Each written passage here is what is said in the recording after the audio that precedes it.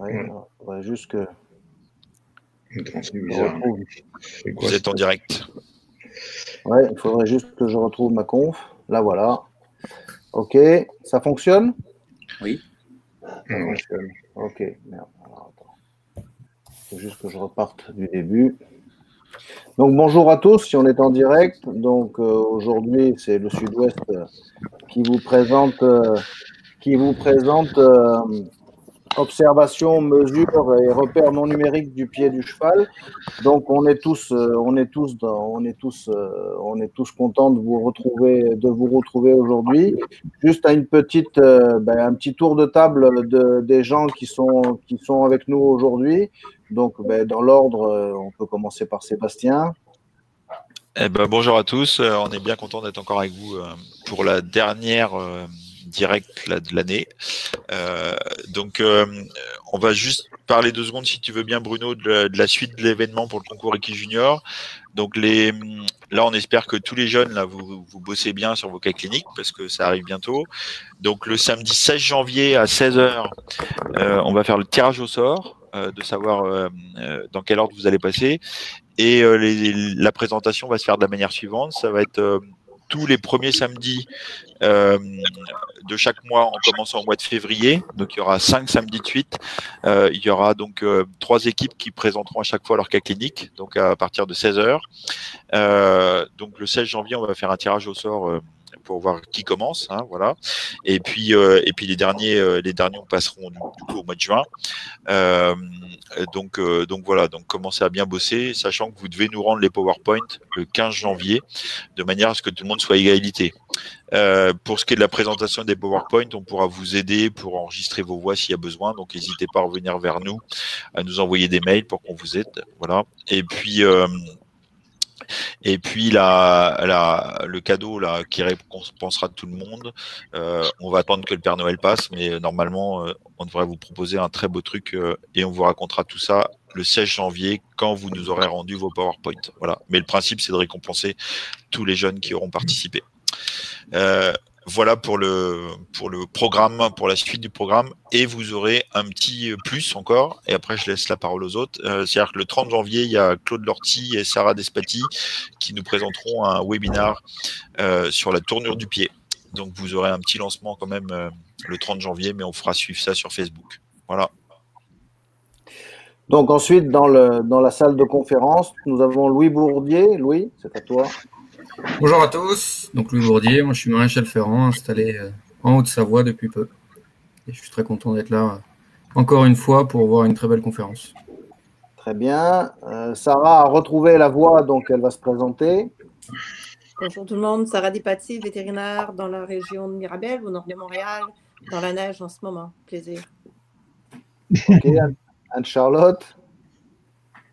Oui, bonjour tout le monde. Ben, Anne-Charlotte, vétérinaire euh, en Haute-Savoie.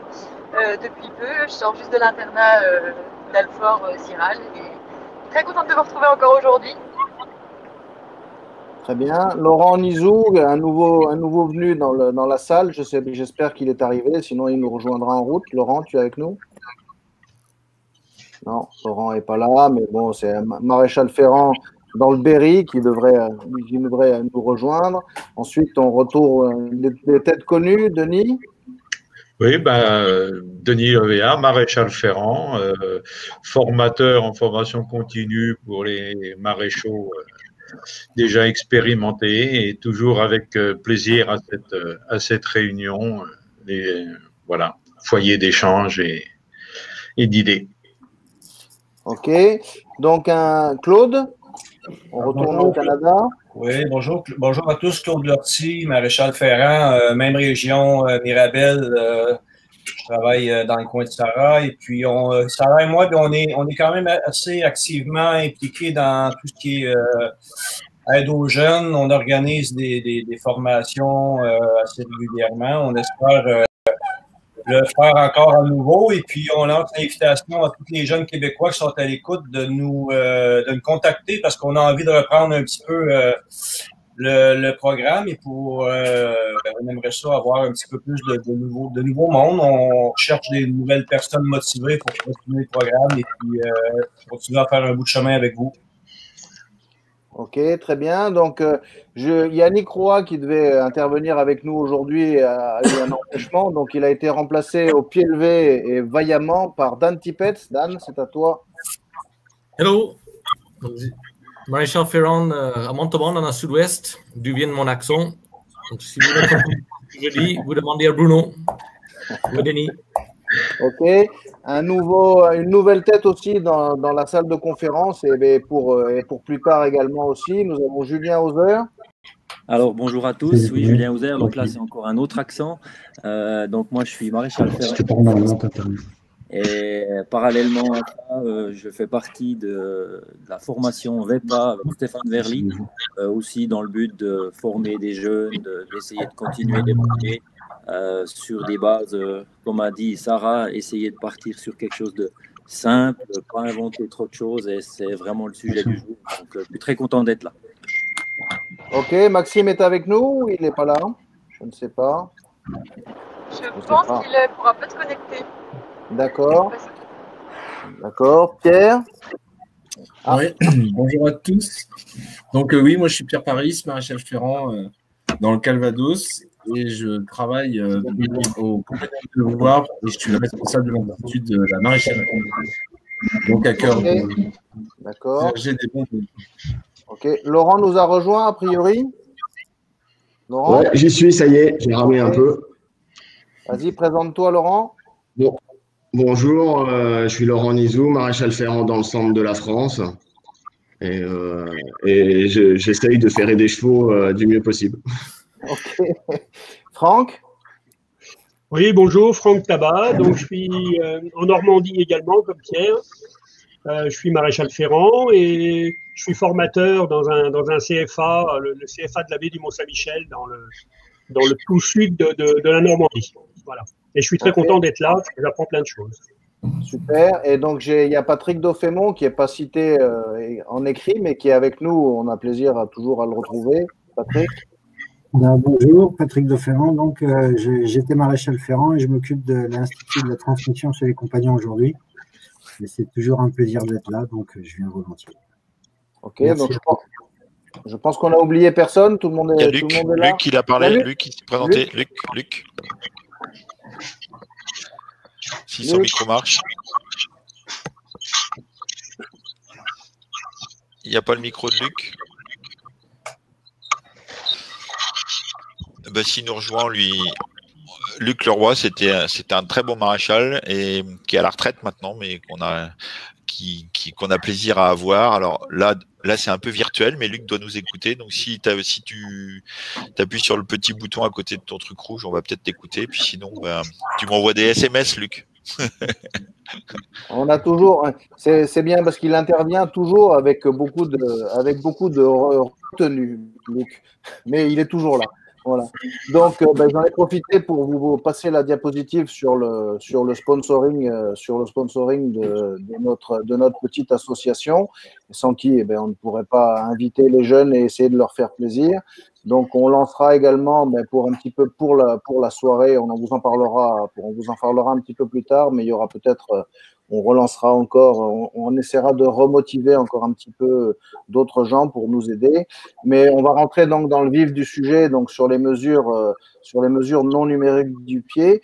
J'ai fait cette, j'ai eu l'idée de cette présentation pour euh, prendre un petit peu le contre-pied de, de, de, de, ce qui se passe en ce moment et de la nécessité de, de, de, faire des radios pour faire de la maréchalerie, d'avoir un matériel un matériel toujours compliqué, enfin, coûteux, onéreux, et, et pour, pour avancer et essayer de faire et de la prescription et de la maréchalerie, alors que ben, malgré tout, quand on a quatre sens, euh, quatre sens, un cerveau, des yeux et, quelques outils, on arrive à travailler, à travailler très très bien. Donc c'est vraiment le motif de cette, de cette, de cette intervention. Et à la façon des compagnons, puisqu'on a quand même des compagnons des compagnons dans notre. On est tous des compagnons, mais en plus, on a des vrais compagnons dans notre petite petite salle de conférence. On va faire un petit tour de France et un petit tour d'Europe et même du monde de, pour prendre des infos, pour collecter des infos là où elles sont utiles et toujours bonnes à prendre. Donc, euh, ben, ça commence, euh, les quatre sens, toujours euh, regarder, toucher, écouter, réfléchir, ça commence à partir du moment où vous rentrez en contact avec, votre, avec le cheval, que vous dites bonjour au propriétaire et que vous jetez un œil sur le cheval. Ben là, il faut commencer à, ouvrir un petit peu, à ouvrir un petit peu ses chakras et à ouvrir un petit peu son, ses, sens pour ne rater aucune information. Donc, ça passe par effectivement ce que vous dit le propriétaire, mais, mais également, mais les, mais également ben, les attitudes du cheval, l'utilisation l'utilisation de celui-ci, et, et puis, et puis ben, vous, restez, vous restez un petit peu à mi-distance, et puis ben, vous regardez comment il pose ses pieds, s'il marche dans le, dans le sol, ben, vous observez les empreintes, euh, s'il est sur un sol un petit peu perméable, ben, vous regardez la façon dont euh, les, les, pieds se rentrent dans le sol, comme, comme, comme cette photo de droite là. Mais, mais également, ce qui est intéressant aussi, c'est sur nos revêtements des sols de clinique ou des sols un petit peu, un petit peu euh, ou sur de la ou sur un macadam un petit peu sec si le cheval a, si le cheval a un peu fonctionné vous arrivez à avoir de magnifiques empreintes de magnifiques empreintes de, de, de pieds sur le sur le sur sur le bitume ou sur des sur de la résine hein. et effectivement la petite photo ça c'est Laurent Nizou qui m'en a qui m'a rappelé qui m'a rappelé à son bon souvenir en disant qu'effectivement, on ne pouvait pas réagir et interpréter, interpréter, le, interpréter les pieds que en fonction du CSO, mais qu'il y avait des chevaux islandais, des chevaux, des chevaux qui faisaient des, des activités un tout petit peu, plus, un étranges et qu'il fallait aussi tenir compte donc vraiment de l'activité du cheval. Donc, euh, toujours pareil, apprendre à récupérer, à repérer et décrire le plus de détails possible. Donc, effectivement, donc euh, sur le sur le, le, positionnement, le positionnement du cheval. Hein, donc, ça, c'est des photos que j'ai empruntées à Patrick Beaufémont, mais euh, vous voyez bien, vous voyez bien euh, sur la photo de gauche ben, que le cheval a un, un polygone de sustentation qui est vraiment, qui est vraiment, ah, qui est vraiment, ah, j'ai perdu. J'ai perdu. Tu es sorti. Je suis sorti. Là. Je suis sorti. Comment je fais?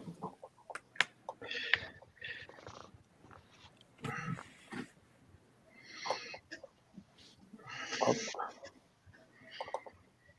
Hop.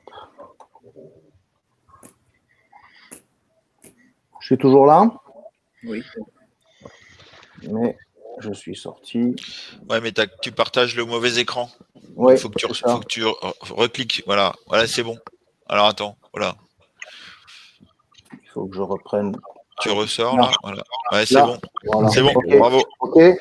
Et donc, euh, et donc, euh, et donc, euh, j'ai une très belle conférence que j'ai vue, que j'ai vue d'un, d'un anglais. J'ai récupéré d'un anglais aux États-Unis qui, qui, qui, avait discuté simplement de, enfin, de la position et de l'orientation des poils qui sont, qui sont un signe, qui sont un signe non négligeable ben, de l'état de santé ben, de la couronne. Donc on voit bien euh, ce poil hérissé sur cette couronne malade avec une, avec une SEM, ben c'est une, c'est une information.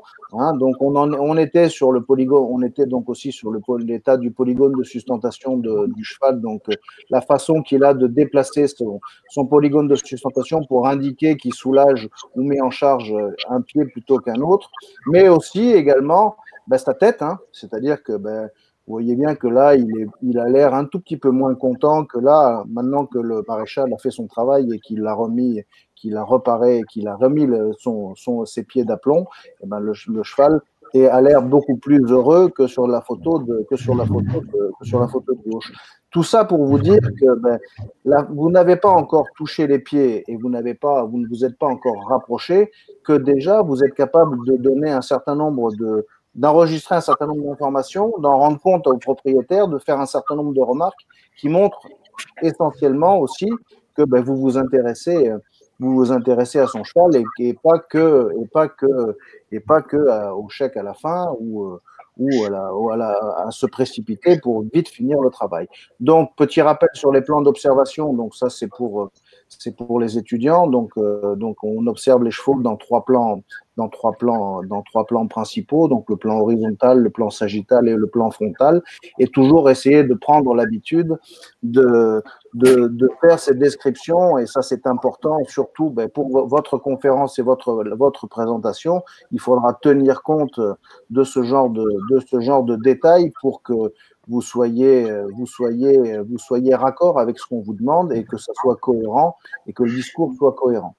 Pour cette description, on va rester de loin et là, on commence à prendre quelques outils. Donc, ben, le fil à plomb, hein, ça existe depuis des millénaires. On a construit des cathédrales avec ça, mais on peut aussi, on peut aussi ben, reprendre une description d'aplomb et tirer ben, dans le plan frontal et dans, ou dans le plan sagittal ben, essayer d'aligner avec euh, un morceau de poids, un, objet un, peu lourd et un, bout de ficelle, on a déjà un outil qui permet, qui permet d'étudier et de donner une description tout à fait précise et, et, correcte d'un aplomb.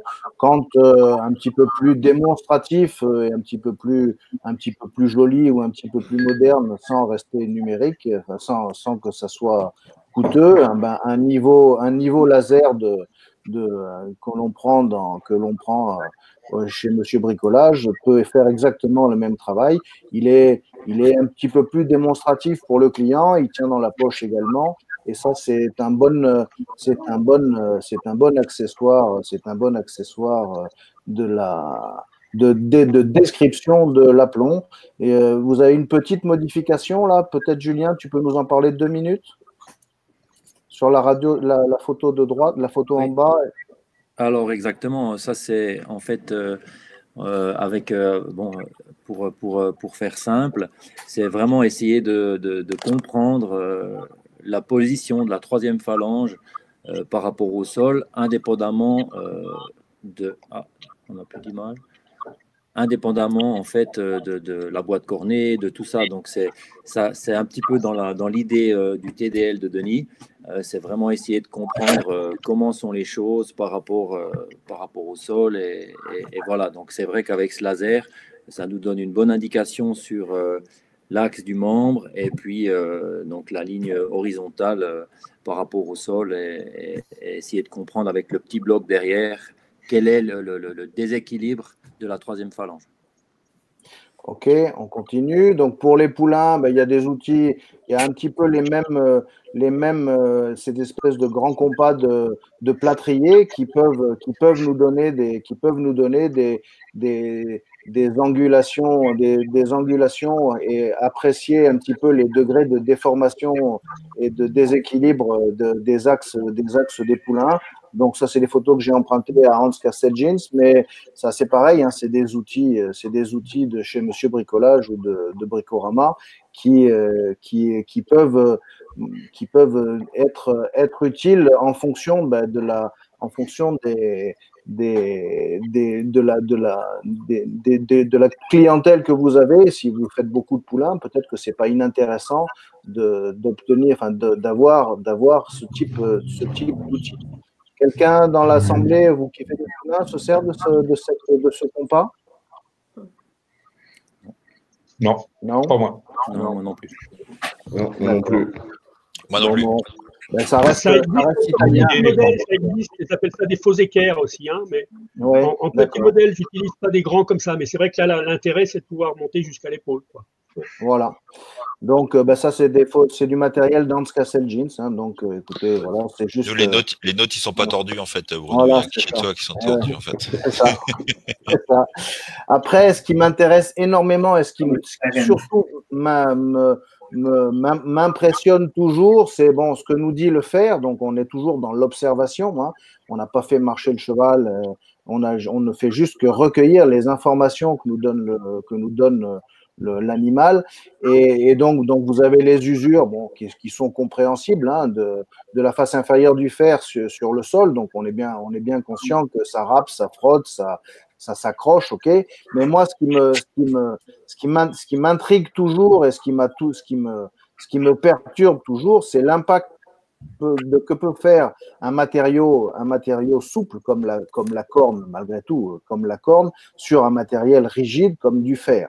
Et ça, ben, par exemple, vous voyez l'empreinte du talon sur la face supérieure de, cette éponge, hein, la, répartition, la répartition anormale euh, sur, sur, sur cette face supérieure de fer également, hein, et également ben, l'asymétrie des, des, des usures sur, le, sur cette face inférieure, ça c'est quand même, c'est comme, il faut quand même, il faut prendre le temps, il faut vraiment prendre le temps d'analyser ces, ces, ces, ces contraintes, ces contraintes parce que ben, vraiment, ça donne un certain, enfin, des indications, des indications, des indications très très importantes. Mais par exemple, sur ces deux fers là, ben, on voit bien qu'il y a une fourchette qui porte beaucoup plus, qui s'appuie beaucoup plus sur la traverse que, que, l'autre pied. Vraiment, je, je resterai toujours euh, ébahi et, et, et, et étonné de, de, ce que, de ce que la nature, de ce que la nature d'un sabot peut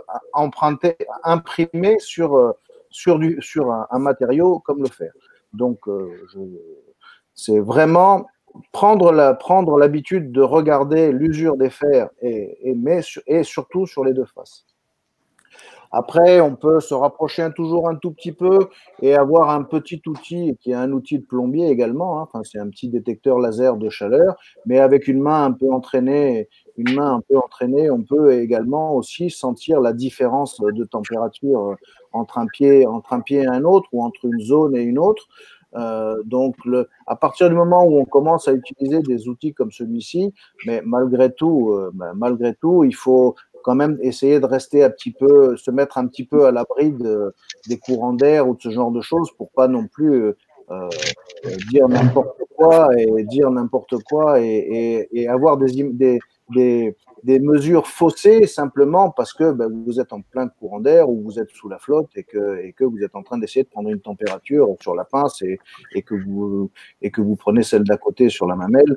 Bon, c'est voilà, il faut rester, il faut rester à peu près, à peu près, à peu près cohérent sur, le, sur ce, genre de pratique, mais malgré tout, vos, vos votre main, votre main ou ce petit outil peut, être un outil, peut être un accessoire un accessoire intéressant pour, euh, pour, euh, pour, pour évaluer la chaleur et donc l'inflammation d'un pied versus un autre.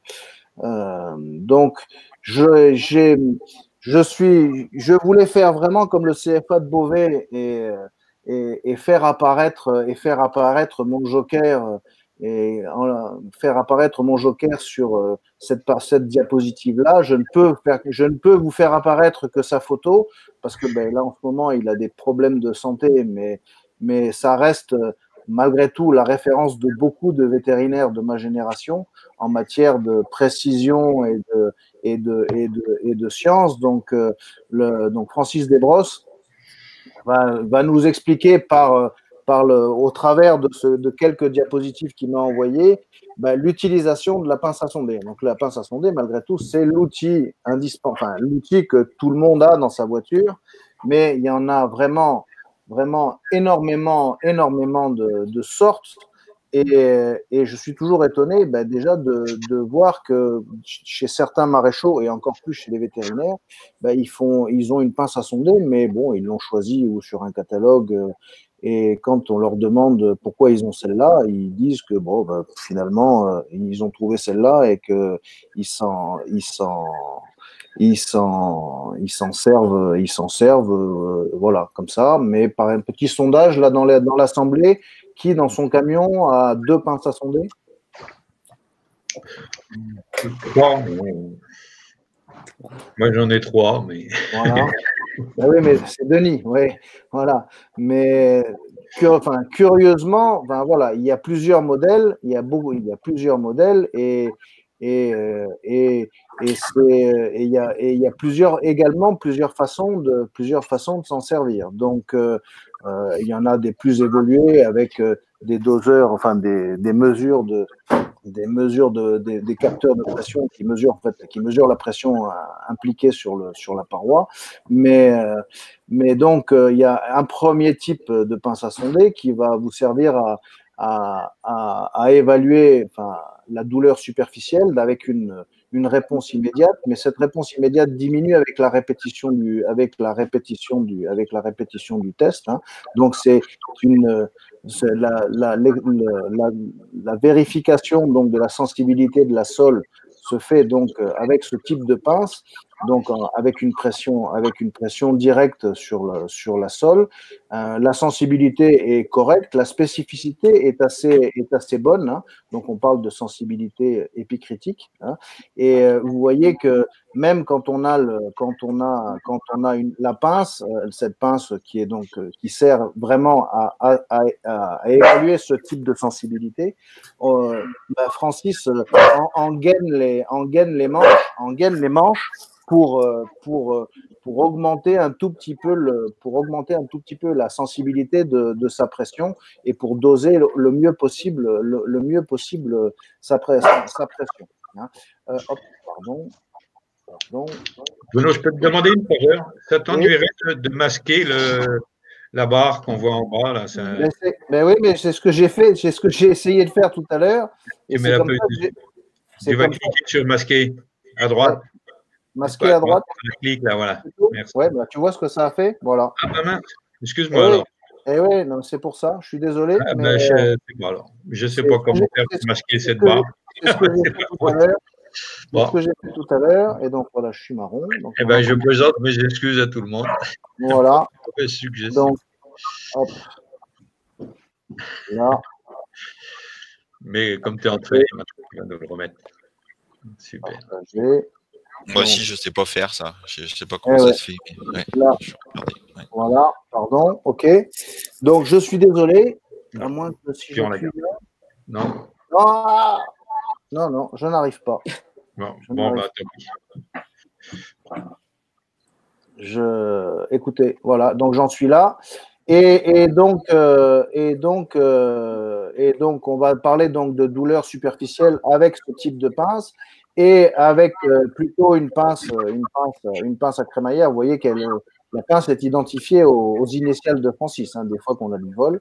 il y a également toujours sur les, sur les, sur les, sur les bras, sur les, sur les manches de la, sur les manches de la pince, elle est gainée de, de V-trap pour augmenter un petit peu le, protéger la sensibilité, la sensibilité, augmenter la sensibilité de, l'opérateur. Hein. Et donc, euh, ce type de pince donc euh, est, utilisé pour une douleur profonde et concerne plutôt donc l'appareil ostéo-articulaire. Cette, euh, cette douleur-là persiste avec la répétition. Hein. Elle est, elle est assez, elle est assez sensible, mais un tout petit peu moins spécifique. C'est-à-dire que malgré tout, on comprend bien que quand on, quand on, quand on pince la totalité, euh, quand on met entre les morts de la pince la totalité du pied, ben, on n'est pas tout à fait capable d'identifier de façon précise la, zone, enfin, on, identifie une zone, mais pas une région particulière comme on le fait quand on, le fait avec la pince, la sensibilité directe. Donc, cette petite, euh, euh, série de diapositives ben, pour les apprenants, hein, donc, qui montre bien que on va faire euh, de façon régulière, on va explorer ben, pince, mamelle, quartier, talon, hein, et que ce, type de pince pour la sensibilité directe n'est pas très commode pour, pour coincer les, pour, stimuler la, région de prendre les deux talons en étau, et c'est pour ça qu'on utilise euh, pince, la pince à crémaillère. Donc une petite précision de, une petite précision de Francis sur l'utilisation de la, de la pince à, à, crémaillère. Donc le modèle de base étant celui-là, euh, celui-ci étant un modèle euh, de inventé par, enfin mis au point par Luc Leroy qui nous écoute.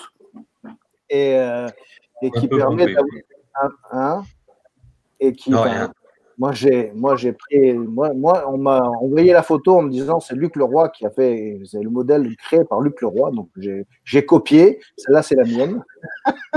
et, euh, et donc, euh, et donc, euh, la pince à crémaillère, donc l'utilisation de la pince à crémaillère pour la pince talon talon, donc pour, donc on a Francis en action.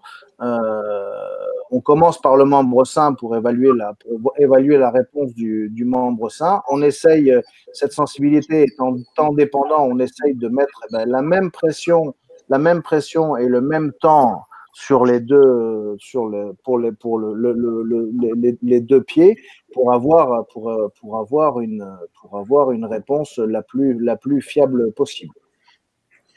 Et donc, euh, et donc ben, comme, tout, comme, tout, comme tous ces instruments, il faut avoir ben, l'habitude d'utiliser sa propre pince et s'exercer et s'exercer.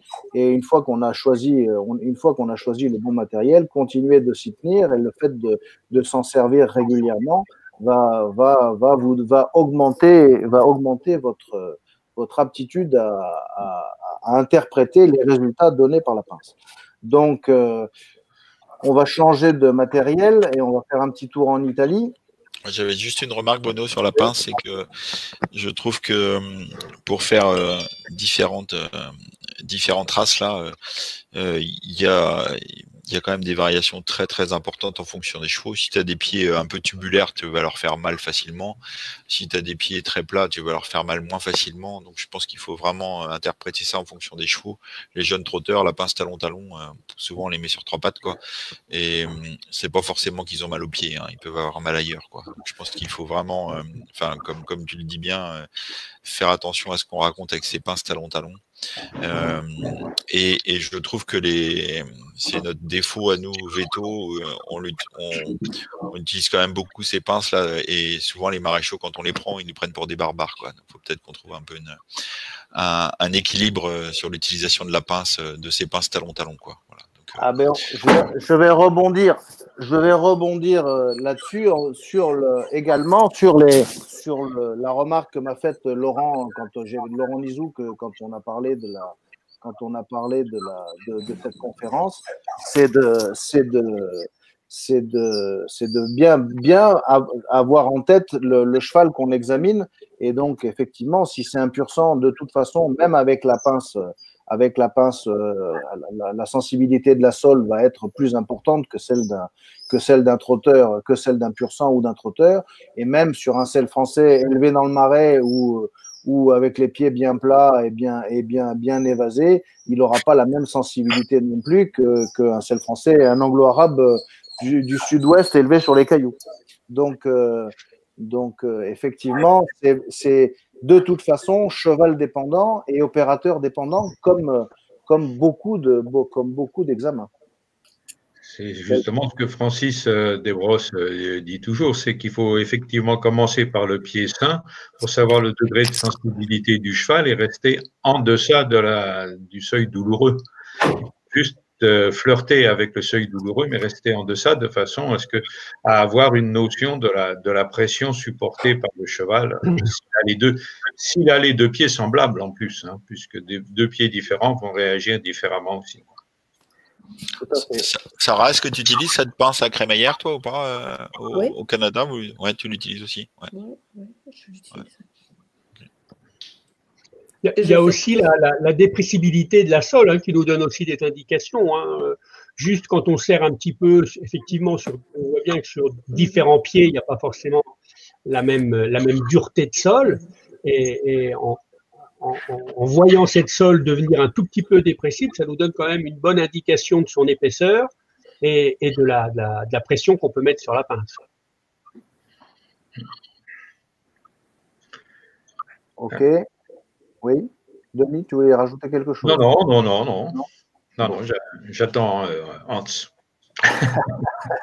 donc, euh, ensuite, euh, eh ben donc, euh, le Hans Casteljins a mis au point, enfin, a, a, a amélioré, a amélioré le, la planche, la planche en bois qu'on utilisait, enfin, qu'on qu peut utiliser ou dans le test de planche décrit, décrit dans les, décrit dans nos cours, dans les, pour ma part, dans les cours du professeur Casieux, euh, mais il y avait une, planche en bois euh, d'un certain nombre, d'une certaine dimension, simplement pour mettre, pour solliciter, pour solliciter dans le plan, dans le plan, dans le plan frontal le, le, le, doigt, mais lui l'a amélioré, l'a amélioré bah, avec avec un compas, un compas pour mesurer un petit peu les angles et en plus il y a, on peut tourner avec le cheval en appui, avec le cheval en appui, on peut on peut tourner, on peut faire pivoter le, le bras pour bah, explorer, soulever le soulever le membre, enfin soulever le pied et le doigt dans dans différentes positions. Donc c'est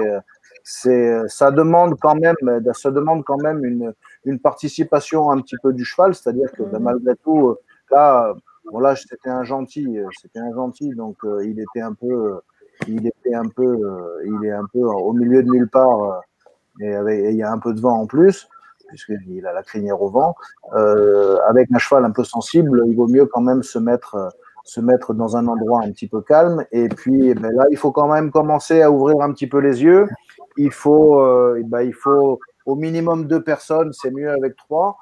Et, euh, il faut observer, ben, il faut observer les, contractions de, la poitrine euh, au, fur et à mesure qu'on élève, qu'on élève, qu'on élève, la, élève la planche il faut euh, observer, euh, observer les élévations, enfin l'élévation. Euh, si on soulève, si on soulève de, par devant, ben, il faut regarder à quel moment les talons décollent, décollent de la planche.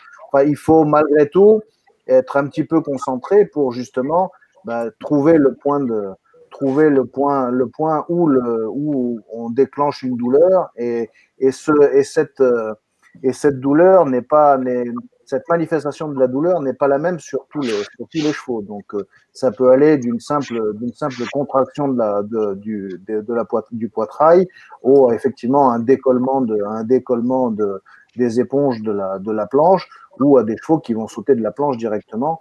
Donc, euh, c'est pour ça qu'il faut ben, être, faire ça délicatement, dans le calme, monter doucement de 5 degrés en 5 degrés et, euh, et et, et donc, euh, et donc, euh, et donc euh, on, peut là déjà avoir une, un certain nombre de, de, de, de d'indications et de valeurs de, et de valeurs de, valeurs qui vont peut-être nous, qui vont nous serviront un peu plus tard. Donc, euh, en, dans le plan frontal, enfin, quand on est par de, quand on, soulève dans le test de planche classique, ben, on considère qu'on est à peu près dans la norme mais encore une fois, entre 25 et 30 degrés, mais ça dépend effectivement, ben, comme, comme vous l'a fait remarquer Denis, de la forme du pied, de la forme du pied et un petit peu de, de la de la de l'origine de l'origine du cheval et de la et de sa conformation mais on, on considère qu'on est dans la norme entre 25 et 30 degrés hein. ça devient un petit peu plus intéressant et, et un petit encore un tout petit peu plus délicat dans l'observation dans l'observation quand on se met en latéral et en médial parce que là ben c'est on considère que, on considère que euh, au-delà de, en, en, dessous de 18 degrés, on n'est pas dans la, enfin, la norme est à 18 degrés en latéral et à une vingtaine de degrés en médial. Donc c'est un tout petit peu plus, c'est un tout petit peu plus compliqué, mais à, à, à observer, mais ça reste, voilà, on, il faut, on, on, on, observe à peu près ce, genre de ces, ces moyennes-là et, et c'est intéressant, c'est intéressant de, bah, de, solliciter le doigt et l'articulation de trois phalangiennes et le doigt euh, avec ce, avec ce matériel-là, tout en n'oubliant pas, de, retourner la planche et, et, de soulever les talons pour voir comment le cheval, comment le cheval réagit également. Hein, en soulevant les talons, ben, on, sollicite, on provoque une descente du boulet et il y a des chevaux qui ne le supportent pas. Donc euh, voilà, j'attends vos remarques sur ce, sur ce test de planche. Euh, moi, j'ai une observation. Je l'ai quand même utilisé pas mal. Euh, et puis, euh, le résultat final que j'ai à répétition, c'est que le cheval est beaucoup moins réagit beaucoup plus lorsque je relève les talons, contrairement à lorsque je relève la pince. Je m'attendais au contraire au début quand je l'ai fait. Je me, surtout sur mes, petits quarter je me disais que probablement en relevant la pince, que les chevaux seraient beaucoup plus inconfortables.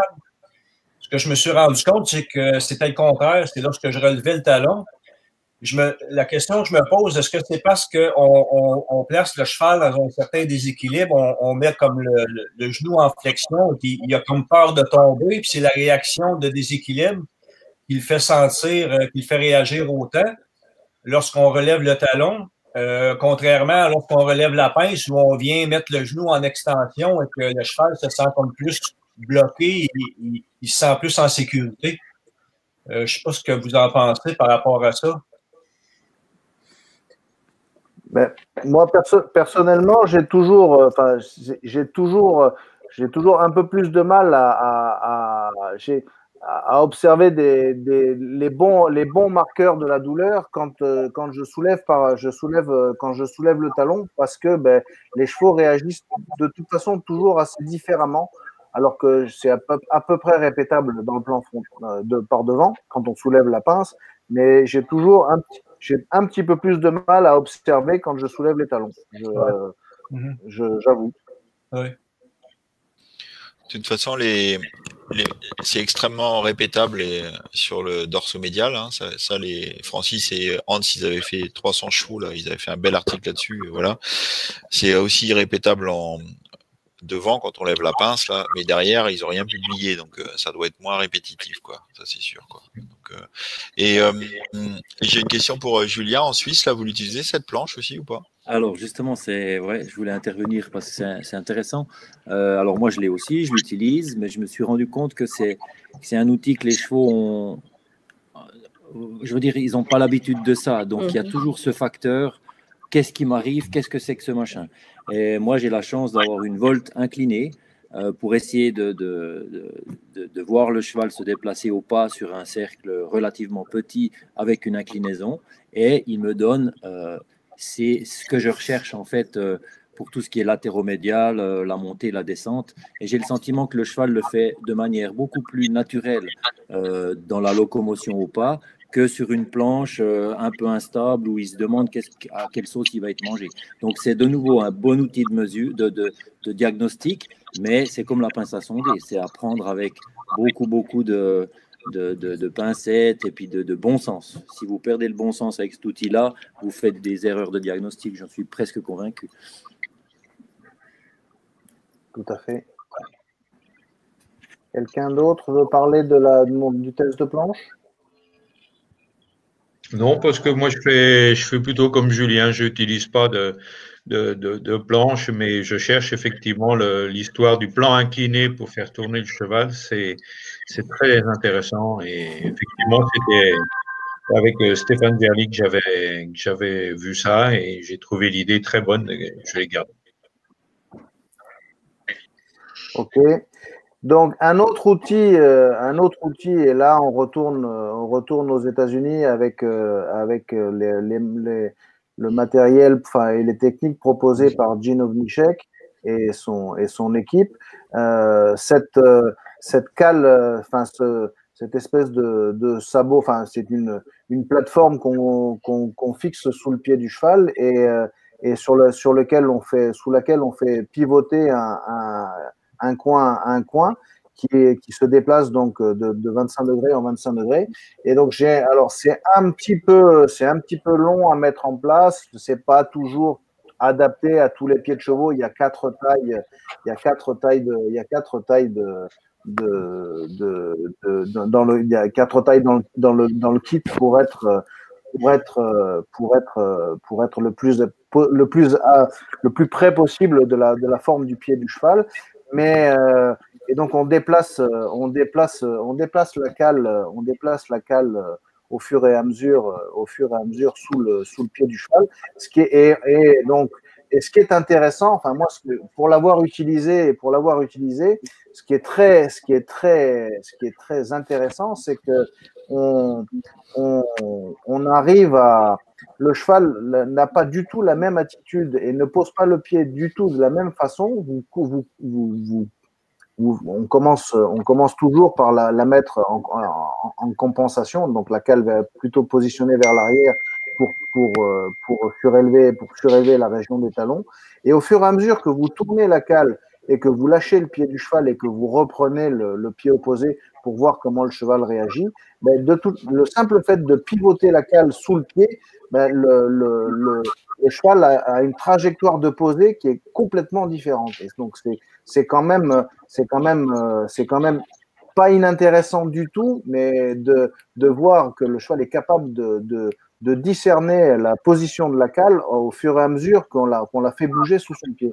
Donc, euh, donc on, compte, euh, donc on compte une, euh, on note, il y, a une, il y a une grille de notation et en fonction de, en fonction de la, de la, de la, du, de la, résultat final, c'est-à-dire qu'on fait faire, on, on, fait, on, effectue toutes les, toutes les rotations du, toutes les rotations de la cale sous le pied et on prend des notes et il y a une, une il y a associé à cette associé à cette observation eh ben on, on, peut arriver à positionner des cales sur les fers d'Ovnichek qui correspondent qui correspondent à la au positionnement de à la réponse à la réponse au test. Donc c'est assez c'est assez intéressant de s'en servir. Ça prend du temps et il faut, il faut, et c'est à mon avis très très opérateur dépendant, mais euh, mais mais mais ça c'est un outil qui, est, a, le, qui a le mérite d'exister, qui est et, qui me semble assez démonstratif.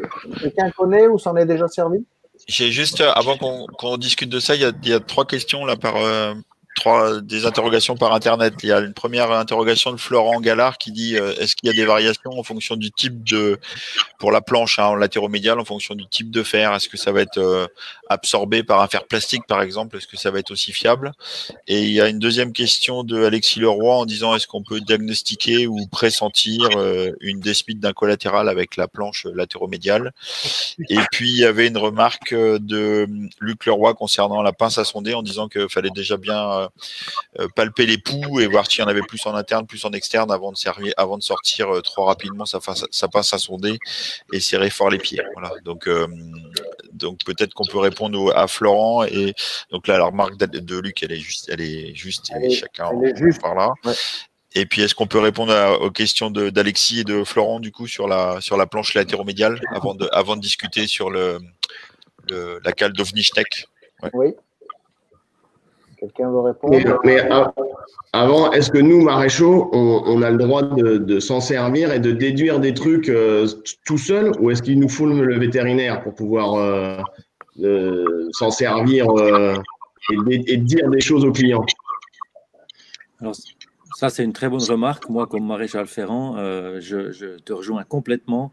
Je pense que c'est de nouveau un tout petit peu hors cadre pour nous, même vis-à-vis -vis du client.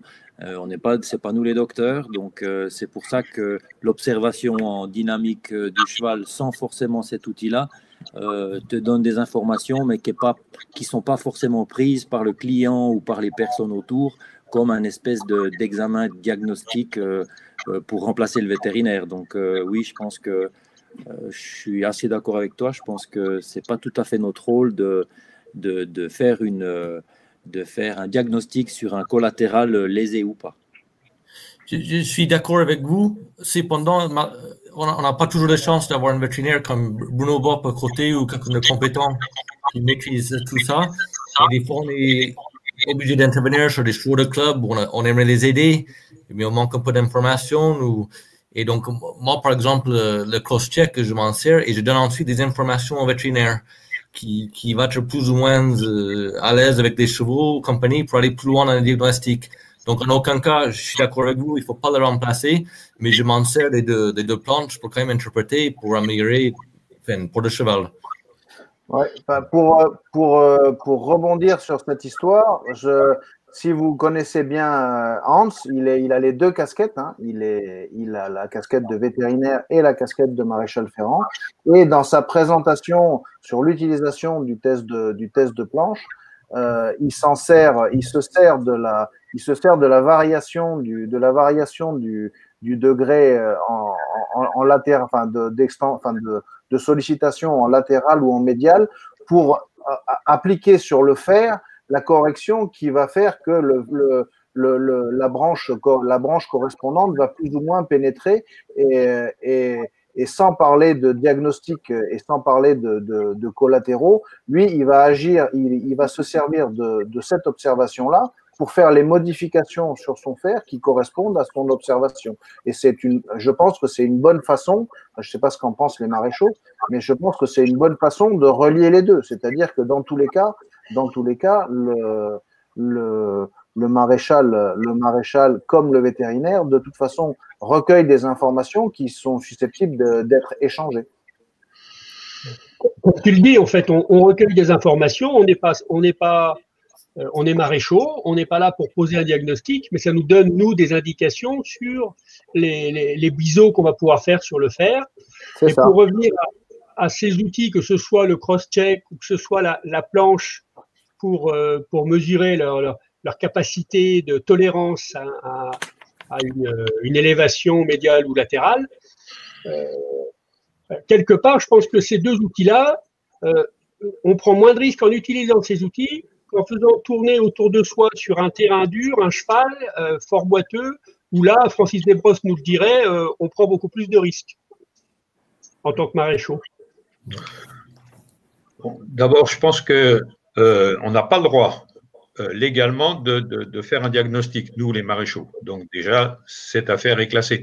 Ce qui est important pour nous, c'est effectivement de savoir dans quelles circonstances le cheval est plus confortable ou moins confortable. Ça nous aide comme vous le dites euh, tous, à, déterminer quelle va être la ferrure la mieux adaptée à son cas. Maintenant, si le cheval est, raide boiteux, je pense que ça commence à être quand même le, le rôle du vétérinaire de venir voir, à moins qu'on ait trouvé un abcès, etc. Donc à ce moment-là, on n'a pas besoin de la planche. Là, on va, aller directement sur le, côté euh, de, de, Luc, le roi. On va commencer par toucher le pouls. Hein, et euh, on va vite voir s'il y a un abcès. Mais, je pense que en tout cas, moi, c'est comme ça que je fonctionne. Je cherche jamais à savoir exactement quelle est la pathologie du cheval. Par contre, je cherche à savoir dans quelles circonstances il est plus confortable ou moins confortable, de façon à l'aider, euh, euh, comme, disait Dan aussi. Est, je crois qu'on est tous un petit peu d'accord là-dessus. C'est-à-dire que notre but à nous, c'est déjà d'aider le cheval et de le rendre le plus confortable possible. Oui, c'est. Euh, il y a quelqu'un qui voulait parler et puis donner des indications.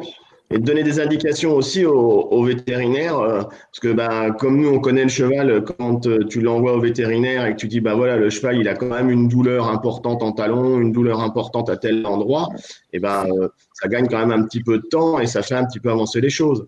Mais c'est moi je me permets juste de donner des indications et je ne me vois pas servir de, de, la planche comme ça et, et dire voilà il a une des Smith, il a moi, je me vois pas faire ça, mais après. Euh, il, y a, il, une, il y, a une, question de Déby Boily là sur, euh, sur est-ce que la planche on peut l'utiliser sur les postérieurs? Et j'ai juste une remarque, c'est qu'il y a Xavier Moreau là qui nous a fait une belle présentation sur les SEM là du trotteur. Et en fait, lui, il s'en sert pour voir euh, euh, pour, pour, aussi euh, gérer un peu son équilibre de talons euh, pour, les, pour les SEM des trotteurs. Voilà, donc, donc ça c'est la réflexion de Xavier qui nous avait présenté avec e-meeting. Et donc la question de débit là pour qu'est-ce qu'on en fait de cette planche sur les postérieurs? Ben, L'appareil annule tout.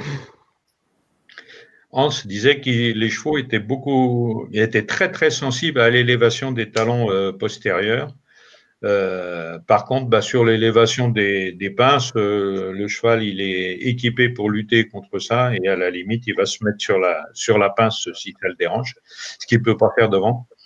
Hein. Mais par contre, l'élévation des talons postérieurs, ça, le cheval est très sensible à ça. Moi, pour, pour rebondir toujours, par, toujours sur, le, sur l'histoire, sur cette histoire de, de, de diagnostic, je pense qu'il y a deux façons il y a deux façons d'arriver au, d'arriver au même, d'arriver au même but, c'est-à-dire d'essayer de mettre le cheval le plus confortable. Et, et l'approche de, l'approche de euh, sur le latéromédial pour, euh, pour voir combien, combien de, de, combien il va couvrir ou diminuer son, son sa branche et l'approche du vétérinaire qui, qui cherche à mettre un nom sur le fait que, qui cherche à mettre un nom sur le fait que, que qu'il y a une, ou non une pathologie, une pathologie ligamentaire, c'est dans tous les cas, de toute façon, on va toujours dans le même objectif, c'est-à-dire d'essayer de faire en sorte qu'au final, euh, au final, le cheval est moins, et soit plus confortable. Donc, euh, il y a effectivement, il y a le côté, il y a le côté médecine vétérinaire, mais il y a la, mais il y a le, au final, malgré tout, c'est toujours le, c'est toujours le maréchal qui a le dernier mot puisque c'est lui qui met le faire. Non? Oui. Bon. Moi, je suis pas trop d'accord avec ça. C'est pas souvent le maréchal qui a le dernier mot. Mais après, bon. je, suis bien, d'accord avec toi, Julien. Mais, au final, c'est quand vous qui mettez le fer. Oui, oui, c'est vrai. Eh oui, eh ben oui. C'est nous qui avons le bébé sur les bras, tu veux dire. C'est ça. Ben c'est pour ça qu'il faut essayer d'être cohérent. C'est pour ça que c'est pour ça qu'on fait des on fait des c'est pour ça qu'on est là. Voilà, c'est pour ça qu'on fait des présentations comme ça. Essayer de ne pas appliquer, euh, appliquer euh, une méthode, enfin une, une, prescri enfin, une, une prescription à faire, enfin, une, une maladie à faire, et essayer de gérer en fonction du, en fonction du, en fonction de l'état du, en fonction de, de, du pied et de, et, de, et de la façon dont marche le cheval et tout ça. Donc euh, voilà, je, au passage, j'en profite pour présenter mes plus plates excuses. Effectivement, j'ai même pas parlé du coupé Dieu, alors que c'est la deuxième chose que je fais euh, avant de, enfin c'est une des premières choses que je fais avant de, avant de sortir les outils. Donc c'est un oubli de ma part. Je suis désolé. Je vous présente mes plus plates excuses. Mais heureusement qu'il y avait Luc qui suivait et qui me, il me l'a fait remarquer. C'est bien. Et pour la question du, pour la question du, du, du fer, euh, enfin de, du, du, fer en plastique qui pourrait euh, varier la, qui peut faire, euh, qui peut ainsi euh, mettre une modification sur la réponse au test. Quelqu'un a une idée? Je pense que oui, effectivement, le fait que le, le, le plastique puisse partiellement céder sous une augmentation de, de, pression, il va, il va partiellement diminuer, ça va modifier légèrement les angles. Je pense que le, le plus important, euh, c'est alors le, le, plastique, il va réagir un petit peu, il va avoir le même effet, je veux dire, qu'un fer qui, qui, a des bras de levier diminués, médio-latéraux. Hein, mais c'est un petit peu la même chose, c'est-à-dire que plus il y a d'extension médiale ou latérale, plus on va avoir de bras de levier qui vont forcer sur les articulations. Donc plus la réponse va être, euh, va être éventuellement importante Hein, alors qu'un cheval qui a, très peu de bras de levier, peut-être il va mieux supporter une, flexion médiale ou latérale, comme avec, un fer plastique. Je pense que ça diminue la réponse euh, sensible. D'accord. Si, euh, si on n'est pas si on n'est pas d'accord euh, avec le pour en revenir à, avec le avec le, le, vétérinaire ou si on n'est pas on n'est pas d'accord sur la pathologie, le client en général il choisit toujours le vétérinaire. Hein. C'est rare quand euh, ça arrive, mais c'est rare qu'il choisisse le maréchal ferrand. Donc c'est bien d'être d'être d'accord. Moi j'essaye toujours d'appeler le, le, le, vétérinaire avant qu'il parle au client pour qu'on soit d'accord sur ce qu'on va appliquer après ce qu'il a vu. Mm. C'est le principe. C'est le principe et c'est le meilleur moyen d'être crédible envers le client, autant pour l'un que pour l'autre. Mmh. Tout à fait. Tout à fait. Juste une petite remarque pour les, les, gens qui nous suivent sur YouTube. Là, on va avoir sûrement une interruption de une ou deux minutes là d'ici deux ou trois minutes. Et normalement, vous restez sur le sur le lien là et et, et ça reprendra. Hein. Donc euh, donc ça va couper peut-être euh, dans deux trois minutes de une ou deux minutes le temps que je remette le lien. Mais euh, mais ne quittez pas, ça va revenir. Voilà. Ok. Donc, euh, donc bah, écoutez, ce cross-check, euh, honnêtement, honnêtement, à partir du moment où on prend le, enfin, c'est comme pour, c'est comme pour tous les autres outils. Quand on en a un peu l'habitude ou qu'on prend le temps de, de s'en servir, c'est, c'est pas inintéressant, c'est pas inintéressant du tout. Donc, euh, une fois qu'on a, une fois qu'on a, qu'on a regardé, qu'on a palpé, qu'on a pris le pouls, et que et que et que on a recueilli un certain un certain nombre d'informations, on va mesurer. Donc on va essayer de mesurer, de prendre des mesures. Pour quoi faire? Ben pour ben pour faire un, pour établir un plan de parage, pour essayer de respecter ben, ce qu'on a observé, donc les aplombs et donc par, par en, en, conséquence la locomotion, tout en effectivement comme nous l'avait dit Laurent, en tenant compte de la discipline, mais avant tout pour ben, essayer de respecter au, mieux les structures de la boîte, cornée pour pas appliquer ben, ben, dans, dans, dans, dans ce qu'on pour rebondir sur ce qu'on a dit tout à l'heure ben, une ferrure qui une ferrure prescrite par un vétérinaire qui est qui a pas pris le temps de regarder le pied ou qui a pas qui ne connaît pas suffisamment qui ne connaît pas suffisamment euh, la technique ben, essayer de de pas poser euh, n'importe quoi sur, sur le pied sous le sous le sur, le sur le sur le pied. Et, et surtout et ça je le dis souvent mais je pense quand même que c'est une des plus-values euh, une des grosses plus-values de la maréchalerie c'est finir sur le fer ce qu'on peut pas faire sur le pied. Et, euh, et malgré tout ça quand même je trouve ça aussi euh, un bon un, un, bon argument un bon argument pour pour pour euh, dans le respect pour le respect euh, le, dans le respect de l'éthique et de, en ce moment c'est, très à la mode le, bien-être animal Et, donc, quand on voit, on voit des techniques, des techniques un petit peu, un petit peu farfelues circuler sur Internet, sur le parage naturel ou des choses comme ça, ça peut, ça peut quand même un peu jouer dans la balance. Donc, des mesures pour quoi faire ça, ça, fonctionne toujours, hein, Sébastien? Donc, euh, ben, identifier les structures du pied et les replacer sous le fer. Donc, ça, c'est une, une, euh, une, des, des, des, photos que j'ai empruntées à Patrick euh, sur ses conférences sur le, sur le, sur le parage et l'équilibre de la ferrure. Et, et donc, ben, rapidement, donc là, il y a les, points principaux identifiables identifiable, euh, identifiable dans les, différents repères qu'on peut prendre sous le, sur, le, sur le pied du cheval et sur le, et sur le fer. On va passer rapidement parce qu'on en reparlera plus tard. Donc, euh, et donc les premières mesures, les premières mesures, euh, les premières mesures avec les, des outils, ben, on commence par, il, a fallu, il fallait bien commencer par quelque chose. Donc j'ai pris le, les compas et donc il y en a plusieurs sur le. Oui, je suis là.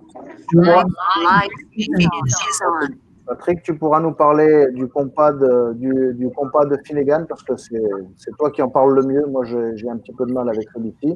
Donc, euh, euh, donc là, j'ai quelques, donc il y a quelques, quelques exemplaires, des photos de quelques exemplaires des, des compas, des compas disponibles sur le, sur le marché. Mais donc, on va avancer sur un, ce compas-ci qui est utilisé par, euh, par Hans. Moi, je ne l'ai jamais vu en France. Il y a, ça a l'air d'être écrit en allemand, peut-être en Suisse, Julien? Oui, alors euh, moi, je ne l'utilise pas, mais j'ai déjà aussi vu, euh, je pense aussi avec Hans. Ouais. D'accord. Et tu sais comment il s'angle Non, c'est pas. non. Donc, bon, de toute façon, c'est toujours pour prendre l'angle de, la, de la paroi dorsale. Donc là, pour l'utilisation. Normalement, c'est parti. Hein, c'est reparti. Euh, euh, D'accord. Donc le compas de Finnegan, Patrick Patrick Oui, je suis là. Ouais, tu peux nous parler un peu du compas? Alors, c'est un compas qui permet de mesurer la perpendicularité du pied par rapport à la fibre cornée. En gros, euh, on part du principe que la paroi coule le long de, la phalange distale et euh, en prenant comme référence la fibre qui correspond à la créna, la créna étant le centre de la pince sur la phalange. Et euh, ce compas permet de, mettre le plan de parage perpendiculaire à cette fibre en prenant pour hypothèse que le cheval a besoin d'une perpendicularité de, son, de sa face palmaire ou plantaire par rapport à, à, la, l'orientation de sa phalange à l'intérieur de la boîte cornée. Euh, ça marche pas sur tous les chevaux. C'est les chevaux qui ont des phalanges en inversion et en éversion, enfin qui sont pas complètement plates au sol naturellement. Euh, faut pas prendre ce, ce pour le travailler sinon, c'est assez intéressant pour, euh, pour au moins se, dire, euh, euh, quand on ne sait pas trop comment aborder le pied, on se dit qu'on part sur une base zéro. On prend cet outil comme référence pour partir sur une base zéro et, on voit comment ça évolue et, ça peut déjà déterminer un plan de, travail sur un cheval un peu délicat. Juste une ou deux astuces d'utilisation de cet outil? Ah, c'est délicat à utiliser parce qu'il faut, faut, faut, bien tracer, en fait. Il faut euh, tracer la fibre cornée avec un, stylo, un feutre, n'importe quoi. Euh, sur, la, plutôt sur la partie, alors ouais, le centre du pied. Donc on prend comme référence la créna et euh, le, la, la, médiane, mais, mais très loin au niveau des glomes. Euh, enfin la partie qui se déforme le moins, quoi. Hein. donc euh, au niveau des glomes, au niveau de la lacune médiane, ça, trace les deux centres de pied. Et, euh, et, sur la face dorsale, et eh ben, on reporte la, la, la créna sur la partie dorsale du pied et on trace la fibre cornée. C'est comme tous les outils, ça nécessite un apprentissage avant de le maîtriser comme il faut. La planche de Hans, d'ailleurs, pour revenir là-dessus, c'est euh, les premières fois qu'on l'utilise, il faut vraiment y aller mollo. Ok. Donc, euh, Un autre outil, donc là, on va laisser la parole à, Julien, c'est le compas, le compas WTS, le compas utilisé par WTS. Alors, ce compas-là, à l'inverse de celui qu'on vient de voir, il est, il est plutôt simple d'utilisation, à condition euh, de, remplir quand même euh, quelques points euh, très très importants. Le premier, il est complètement lié à la surface du sol là où vous ferrez. Donc, vous êtes obligé d'avoir une surface vraiment plate ou alors de tenir compte du degré de pente et de le calculer dans votre paroi dorsale. Donc, c'est bien si vous avez une, place très plate. Alors là, c'est vraiment quelque chose de facile à utiliser. Et puis, euh, c'est aussi important de toujours le mettre sur la paroi de manière euh, vraiment euh, tout le temps protocolaire, donc environ un centimètre et demi en dessous du bord coronaire, de manière à avoir un bon rapport de parallélité par rapport à la troisième phalange, par rapport à la, face, dorsale de la troisième phalange. Donc, euh, ce, compas-là, pour les maréchaux, il est super pratique et super facile à utiliser. Déjà, c'est rapide. Ça vous donne une indication euh, avec le cheval par rapport à tous les autres euh, en charge, par terre. Et ça, je crois que c'est quand même quelque chose de non négligeable parce que on a vraiment le poids du cheval, la boîte cornée en charge, et on a vraiment une situation réelle. Euh, et c'est vraiment quelque chose qu'on peut utiliser tout au, long du fer, tout au long du ferrage. on va le voir un peu plus loin.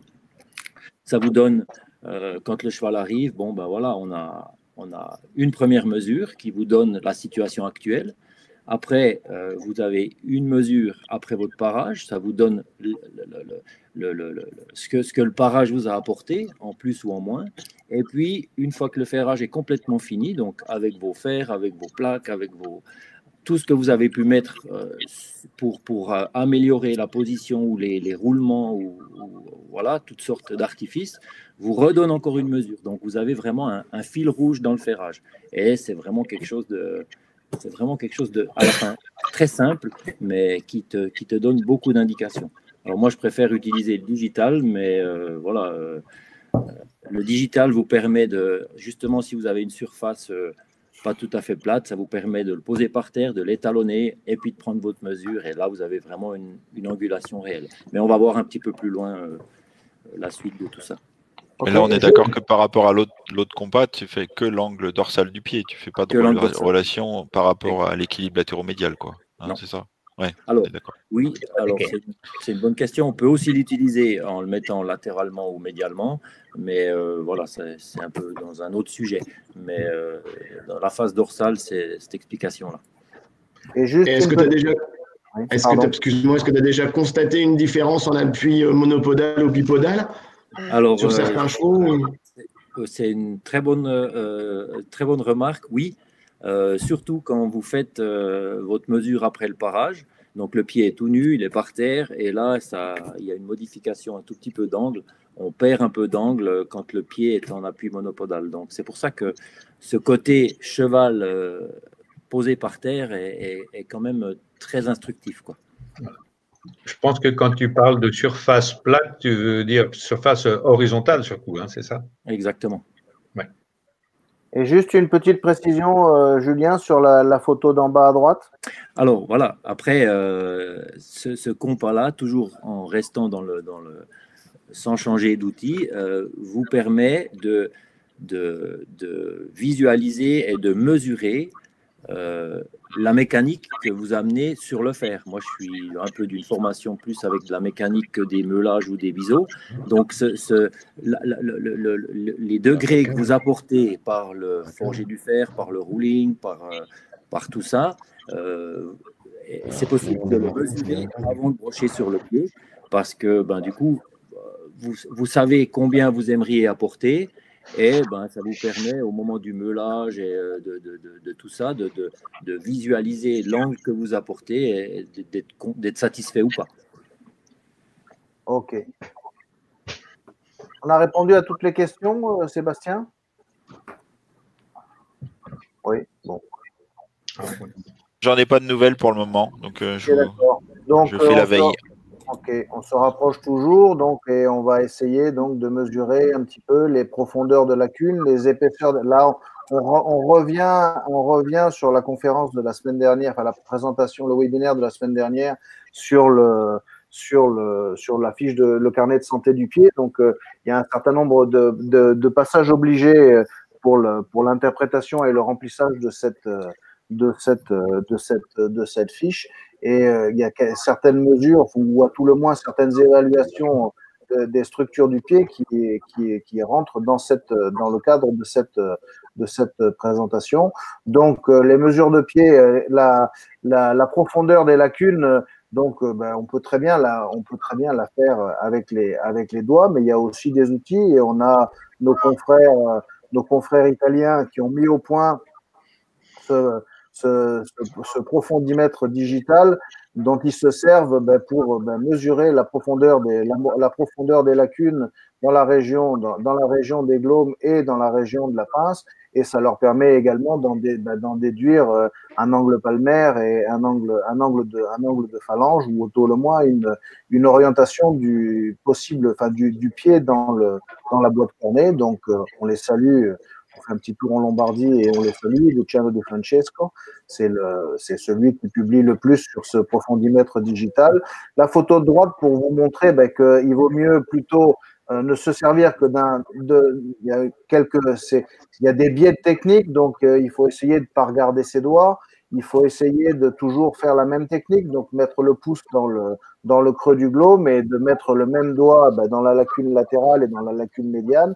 C'est c'est, ben, ça donne une indication qui est, qui est, qui est non négligeable. Une fois de plus, euh, ben, ça dépend un petit peu de, l'état de la préparation du pied et de, et de, et de, de la concentration de, de l'opérateur. C'est opérateur dépendant, mais ça donne, ça donne une indication quand on a travaillé sur le, quand on a travaillé sur cette, euh, sur cette lecture de pied, enfin sur la fiche de santé du pied, le carnet de santé du pied, on a pas mal utilisé cette technique-là. Et euh, c'était malgré tout, euh, on était à peu près tous d'accord pour dire que ça avait un intérêt. C'est pour ça que je vous en, je vous en parle. Donc euh, toute une série de mesures. On avait juste fait, juste Bruno, je te coupe là. On avait juste testé la répétabilité, la reproductibilité de la, de la mesure de profondeur des lacunes avec Luc et un jeune maréchal. Et euh, bah, Luc, c'était bien parce qu'il avait des mesures qui étaient de l'ordre de 60%, hein, donc euh, ce, qui est, ce qui est bon, hein, Kappa.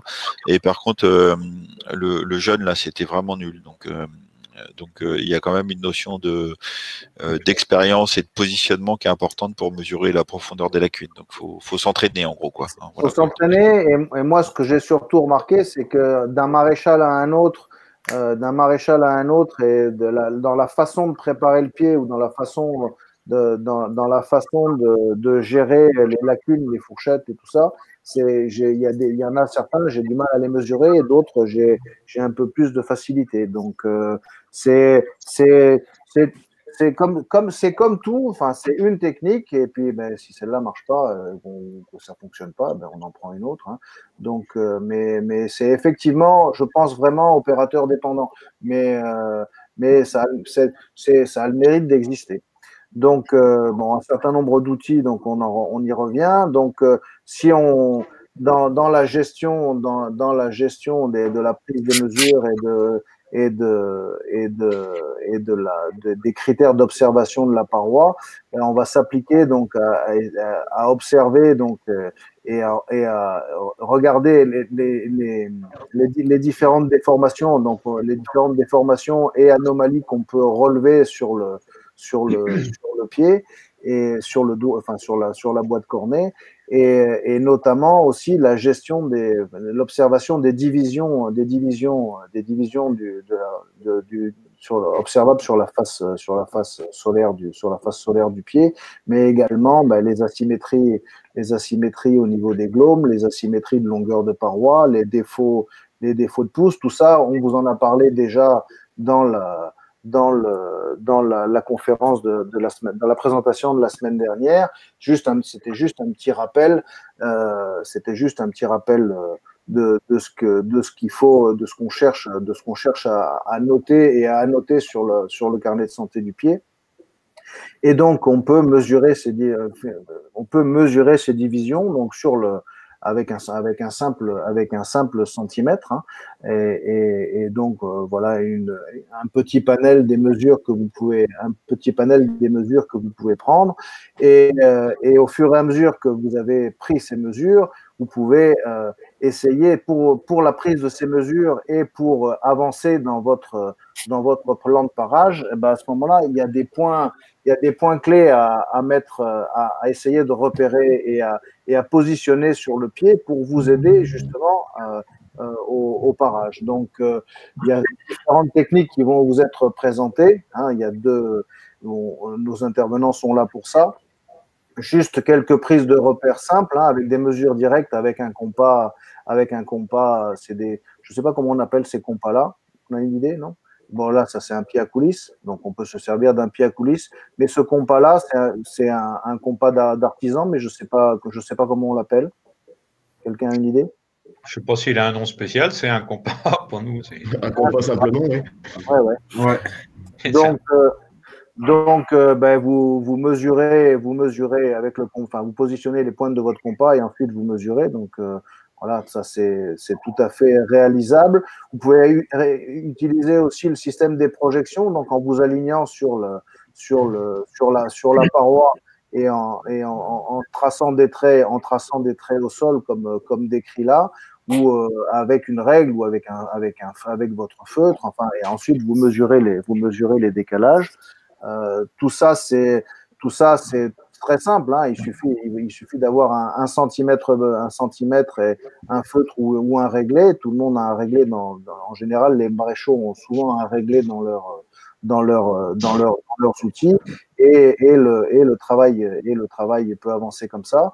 Mesurer les cartilages ben, avec le compas ou avec le pied à coulisses. Hein et, euh, et, en, et, en, prenant des repères. Moi, pour, dans cette, dans cette mise en place de la, de la, du carnet de santé du pied, j'aurais au moins appris à palper, à palper j'aurais surtout appris à palper un cartilage. C'est une révélation aussi pour moi, ça.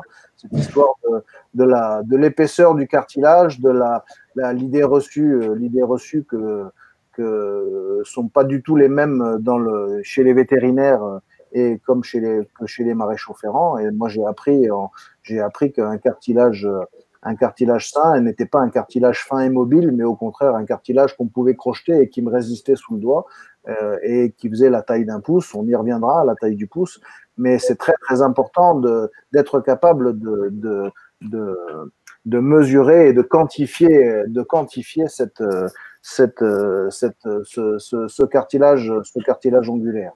Et pour euh, prendre des continuer dans les mesures, je vais laisser parler, je vais retourner en Suisse et on va laisser parler, on va laisser parler Julien sur les techniques utilisées par, euh, par son, par, enfin, les, techniques qu'il utilise pour prendre les mesures sur le pied. Alors oui, donc en fait, euh, on est toujours, il y a plein de techniques pour, pour trouver le centre articulaire, le centre de pression, enfin voilà, mais c'est toujours dans l'idée et dans, l'objectif de faire quelque chose de, facile, euh, sans radio, et qu'on peut mettre en, pratique euh, quotidiennement et sur chaque cheval. Donc en fait, la, technique pour trouver ce centre articulaire, c'est simplement de, prendre euh, l'axe du pâturon, de prendre en compte la surépaisseur euh, euh, euh, caudale des deux fléchisseurs profonds. Et puis, une fois que vous arrivez sur le bord coronaire, voilà, une fois que vous arrivez sur le bord coronaire, vous tirez une ligne verticale par rapport au sol. Et puis, euh, c'est ce qui vous donne après la position, donc le rond jaune du centre articulaire. Euh, théoriquement, sur un pied sain et en équilibre, c'est ce qui correspondra à la partie la plus large de la ligne blanche pas de la paroi. Je précise parce que on est très souvent euh, en observation de la boîte cornée, mais euh, il suffit qu'elle soit passée euh, un peu trop au pariétal, un peu trop à la râpe, et on est un tout petit peu perdu dans, dans, cette partie la plus large. Donc c'est vrai que j'ai maintenant vraiment l'habitude de me baser sur la partie la plus large de la ligne blanche, le changement de direction de la ligne blanche. Et puis, donc, comme Pardon? Ah non, je voulais dire, tu me dis quand il faut que je passe à la suivante. Oui, et puis du coup, c'est ça que que je voulais dire, c'est que après, euh, sur un pied donc sain et en équilibre, on normalement euh, avec cette, cette mesure extérieure, on tombe exactement sur la partie la plus large de la ligne blanche. Et dans un cas de déséquilibre pied plat, la partie la plus large de la ligne blanche avance et sur un pied beau, par exemple, elle recule. Donc ça, c'est vraiment une bonne indication. Et si vous avez une différence de plus d'un centimètre, c'est que vous êtes trompé à quelque part. Il faut recommencer. Donc euh, c'est encore une fois euh, une manière de faire qui demande euh, un tout petit peu de routine et un peu d'expérience. C'est clair, si vous le faites jamais, c'est quelque chose que vous aurez peut-être de la peine à, à mettre en place. Mais après, c'est quelque chose qui est vraiment utile et qui, quand vous regardez un pied dans l'observation du départ, c'est quelque chose qui rentre dans votre tête. Vous dites, bon, comment je suis? Sans forcément toucher, vous regardez votre pâturon, vous regardez tout ça, et ça vous donne des, grandes indications. Ça entraîne l'œil. Donc euh, voilà, tu peux changer, Bruno. J'ai une question, Julien. Ah, euh, j'ai une question. Je suis d'accord avec toi quand tu dis par rapport à la partie large de la ligne blanche.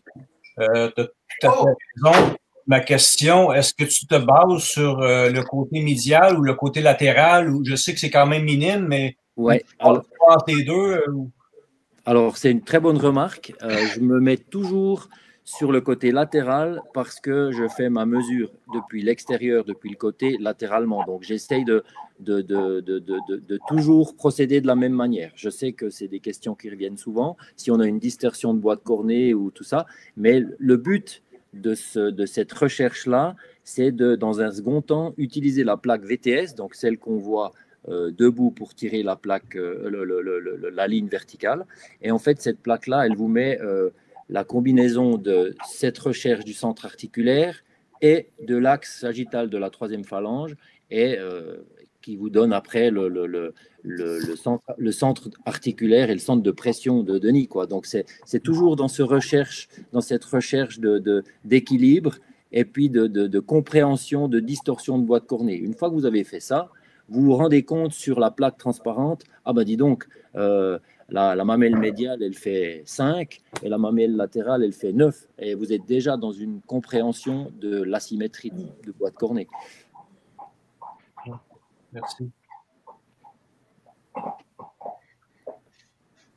Voilà, donc en fait, euh, toute cette recherche-là, elle est, pour nous tous, c'est vraiment de savoir où est la troisième phalange. C'est vraiment euh, la clé, je pense, euh, d'un ferrage réussi, c'est de savoir où est la phalange. Parce qu'en définitive, si vous arrivez à équilibrer un pied par rapport à son os, vous êtes très souvent plus obligé de rajouter de la protection, de la souplesse, de la hauteur, de la. Euh, vous, êtes, vous vous rendez compte que si vous ferez sous l'articulation, sous la troisième phalange, vous avez beaucoup moins besoin de, d'ajouter de, choses. Quoi. Alors, euh, Rome, c'est pas fait en un jour. Il faut des fois plusieurs périodes de ferrure pour essayer de, de, récupérer une meilleure position interne du pied. Mais euh, si vous l'avez en tête au départ, encore une fois, je suis toujours avec mon fil rouge parce que c'est quelque chose qui est important pour moi. J'aime beaucoup prendre les mesures, les noter et puis me rendre compte qu'est-ce qui s'est passé pendant ces 5-6 semaines. Qu'est-ce qui s'est passé? Est-ce que j'ai gardé l'angle? Est-ce que j'ai perdu l'angle? Et, cette, compréhension du pied, elle rentre vraiment dans le sujet de ce soir. C'est tout des choses qu'on peut faire sans radiologie, sans. Alors bien sûr, euh, on peut combiner les deux, les deux techniques, mais pour nous maréchaux, ça, ça, nous donne vraiment une compréhension de la boîte cornée et des différents, euh, des différentes conformations, parce que en définitive, ben voilà, vous n'allez pas me contredire que chaque pied est différent. Donc voilà, une fois que vous avez ce centre articulaire, vous savez que votre troisième phalange, elle est dans la, plus dans la grande majorité des cas, elle est vraiment de deux tiers, un tiers par rapport à ça. Et puis, euh, c'est quelque chose que vous pouvez après euh, combiner avec cette fameuse pointe de fourchette parée. J'insiste sur le mot paré parce que si vous lui donnez pas un tout petit coup de rainette là-bas au bout, vous vous trompez de 5 mm. Donc, votre 25, 20 euh, à 25, il passe à 30 et vous êtes déjà dans un point de repère faussé. Donc, il faut vraiment euh, se donner la peine de juste nettoyer cette pointe de fourchette. j'ai envie de dire que c'est la seule chose, quand on lève le pied et qu'on lit le pied, c'est la seule chose qu'on a le droit de toucher, à mes yeux. C'est vraiment tac pour vraiment déterminer où est la pointe de la troisième phalange. Et puis, une fois que vous avez ça, vous pouvez, euh, avec votre pointe de troisième phalange et votre centre articulaire, reporter la moitié de cette distance vers l'arrière, et là, vous trouvez la fin de la branche de l'os. Et là aussi, c'est pas au millimètre, mais à beaucoup, beaucoup, beaucoup de, dans beaucoup de pathologies du cheval, j'ai déjà beaucoup remarqué dans ma, dans ma pratique que c'est pas tellement euh, la pince qui fait mal aux chevaux, c'est vraiment cette arrière de pied, c'est cette région des barres, c'est ces blêmes, et c'est toujours lié aux branches de la troisième phalange. Donc c'est vraiment important de savoir où elle est en avant pour placer notre bowling, notre, euh, notre, euh, nos, biseaux, tout ce que vous, vous pouvez l'appeler comme vous voulez, votre départ de pied, mais c'est aussi très important de savoir où on est vers l'arrière, parce qu'en définitive, c'est la partie, pour moi, la moins tolérée du cheval. Et c'est vraiment ce qui donne des douleurs au cheval. Et c'est pour ça que ces, ces, ces, ces, proportions sont importantes, même si elles ne sont pas euh, mathématiquement euh, au millimètre. C'est pour vous donner un peu un sens. Et puis après, donc, on est toujours dans l'idée de ne pas avoir de radiologie. Donc, moi, je suis très attaché à langue palmaire. Je sais que ce n'est pas forcément le cas de tout le monde, mais pour moi, langue palmaire a une grande influence sur la santé du pied, sur la santé des structures. Et une bonne technique pour apprécier cette langue palmaire sans radio, euh, c'est tout simplement de savoir que la troisième phalange a toujours un rapport de 30 degrés par rapport au bord coronaire. Donc après, euh, une fois que vous avez ça, vous pouvez prendre un, une pièce euh, en papier ou comme on a là en plastique un peu souple euh, de 30 degrés. Là encore une fois, il faut vraiment la placer de manière judicieuse, juste et prendre le temps de faire les choses parce que vous avez vite fait de vous tromper de 5 degrés. Donc vraiment placer cette pièce de 30 degrés, vous tracez votre trait et puis vous avez la tendance. Ça ne va pas vous dire si vous avez 0,5 dans le palmaire ou si vous êtes ci ou si vous êtes ça. Ce que je veux vous faire comprendre, c'est qu'il faut que vous sachiez si vous êtes dans le positif ou dans le négatif. Et ça, c'est très, très important pour euh, la suite de votre travail, que ce soit le parage, que ce soit euh, sans rentrer dans, dans, dans, des grandes discussions sur euh, la manière de parer, sur tout ça. C'est, à mon avis, important de comprendre si un cheval, comme on l'a vu avec la pince exploratrice, a mal dans les talons, et que par rapport à tout ce que vous venez de faire, vous avez un angle palmaire de moins 4, euh, j'ai envie de dire, c'est par là qu'il faut commencer. Il ne faut pas commencer de se dire, ah, mais il faut que je lui protège ses talons qui lui font mal. Il faut essayer de remettre la troisième phalange dans une position qui va faire qu'on a une masse plus importante sous, les branches de l'os. Donc, euh, voilà, donc euh, là, on voit sur ce dessin 30 degrés par rapport au bord coronaire, et ça vous permet d'interpréter et d'apprécier l'angle palmaire.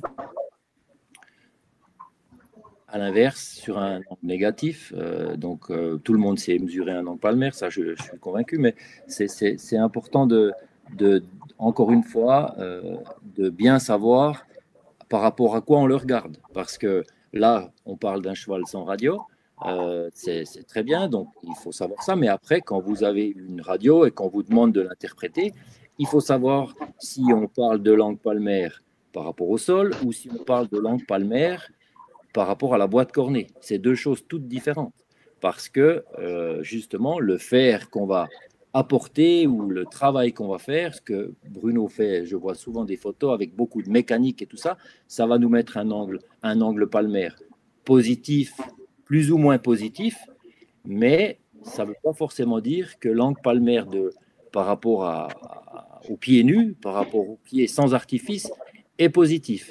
Et ça, c'est un point euh, qui, pour moi, est très, très important dans le confort du cheval, parce que euh, je vois beaucoup, beaucoup de chevaux auxquels on a voulu apporter une meilleure position. Donc ça, pour moi, c'est très juste.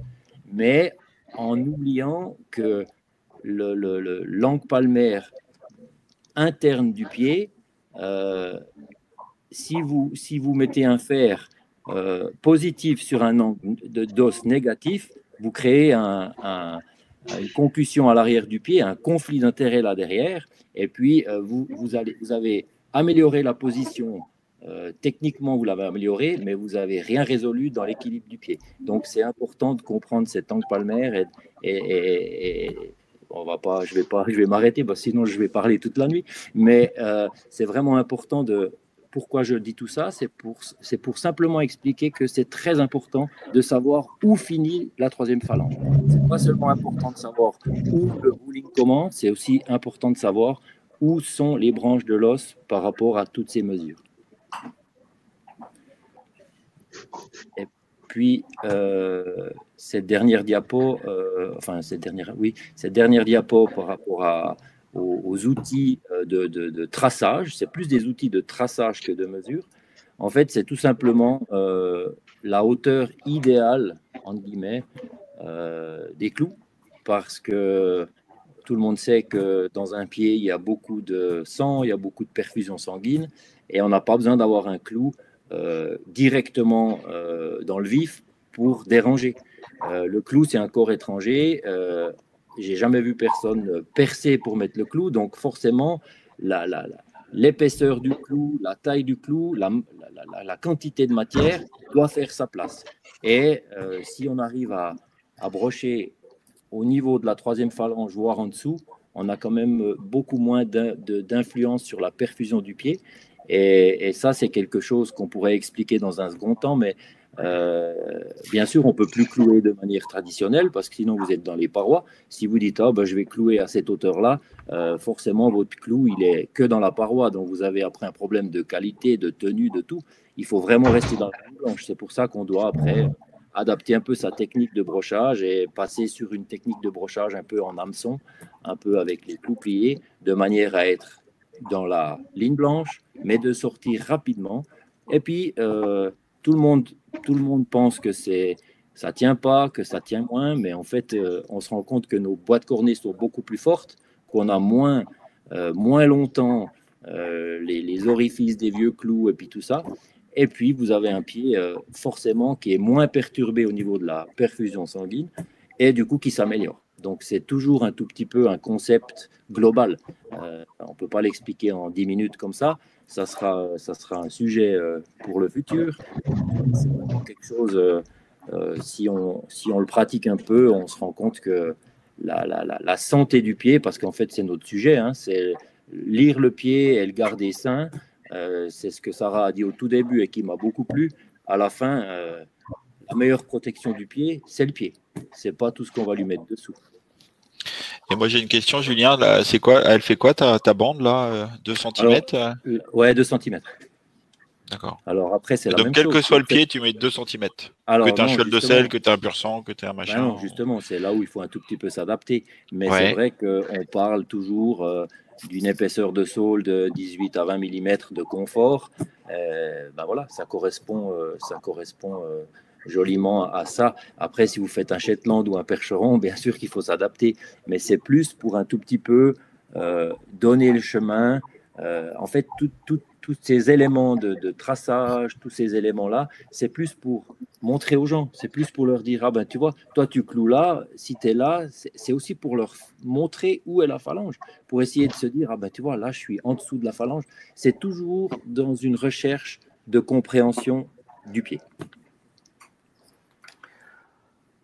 Ok, merci beaucoup Julien. On, va continuer. Alors sur ça, donc on est dans le, on est, je, pense que c'est un bel exemple de prise de, de, prise de mesure et de planification, de planification du parage euh, assez malgré tout, euh, qui nécessite un peu d'habitude, mais qui, qui, peut donner de bons, de bons de, bons, de, bons, de, bonnes, de bonnes idées, mais globalement, comme l'a fait, l'avait fait remarquer Laurent quand je quand j'en ai discuté un petit peu avec lui, c'est ces histoires d'épaisseur de sol et de positionnement de, la phalange dans le, dans le pied, c'est pas d'aujourd'hui. Je vous ai mis, je vous ai mis en, en agrandi, j'ai essayé d'agrandir un petit peu ce que disait le précis de maréchalerie euh, euh, je ne sais pas de, quand ça date le précis de maréchalerie, mais malgré tout, déjà, le, précis de maréchalerie parlait déjà d'évaluer l'épaisseur de la sole et, de la préservation du pied. Laurent, tu peux nous en dire un petit, un petit, un petit mot? Oui, alors moi je suis, euh, je suis pas du tout sur. Enfin, c'est plus une méthode quand tu es apprenti ou que tu es jeune maréchal et euh, que tu as un cheval qui a beaucoup de sol ou euh, qui a le pied long, tu sais jamais vraiment euh, jusqu'où tu peux aller parer et jusqu'à quel point tu vas le mettre confortable ou inconfortable. Et après, bah, sur le vieillissement de ton ferrage, ça change un petit peu tout. Et ton client, au bout de quatre semaines, il t'appelle en te disant oh, la vache, putain, il a les pieds super longs, on dirait qu'il a trois mois de ferrure, tu n'as pas assez coupé les pieds. Donc, euh, ben, moi, je suis pas un grand coupeur de pieds, je coupe pas, euh, je coupe pas les pieds à 100, mais euh, il faut quand même que le cheval soit paré correctement. Et donc, quand j'étais apprenti, le, professeur que j'avais à, à, l'école voyait bien que j'étais pas un fou du run-pied. Et il me disait toujours, ben tiens, regarde, là, tu as encore, as encore du pied. Et puis moi, j'étais toujours en train de dire, oh là là, où est-ce qu'on va? Où est-ce qu'on va quoi? Et euh, donc, il m'a montré cette méthode, euh, qui, est une, est méthode, hein, c'est de prendre une rainette et puis bah, de voir où est-ce que, où est-ce que le fond du pied. Et, euh, et puis, bah, dès, que dès que tu vois une, une petite goutte de sang, bah, évidemment, il faut arrêter. Bah, évidemment, essayer d'arrêter avant, mais arrêter vraiment au minimum. Et puis là, à ce moment-là, tu laisses un centimètre et demi environ et, euh, et puis tu pars ton pied et tu laisses de l'épaisseur en fonction. Voilà. Mais euh, c'est toujours souvent, quand tu es avec ton apprenti ou que même toi tout seul, tu t'oses jamais euh, dire oh là là, est-ce que je vais couper du pied assez? Est-ce qu'il va pas avoir la pince trop longue? Est-ce que. Et, euh, et euh, bah voilà, c'était une vieille méthode. C'était juste pour parler un petit peu de cette. ça fait quand même des années et des années que les maréchaux cherchent à, à parer le pied correctement.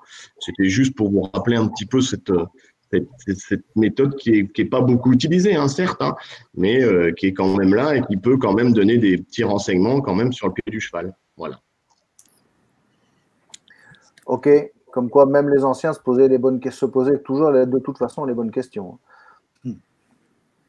Donc toujours pareil pour euh, dans le respect des dans le respect du pied et de ses proportions et, on est pile poil dans, la lecture des divisions et dans l'appréciation du, enfin de la des déformations ou non de la, de la boîte de la boîte cornée. Moi, on a cette présentation de, Claude sur l'utilisation d'un morceau d'une tige de d'une tige de plomb nous avait beau, nous a nous avait enthousiasmé. Tu peux nous en dire deux mots, Claude?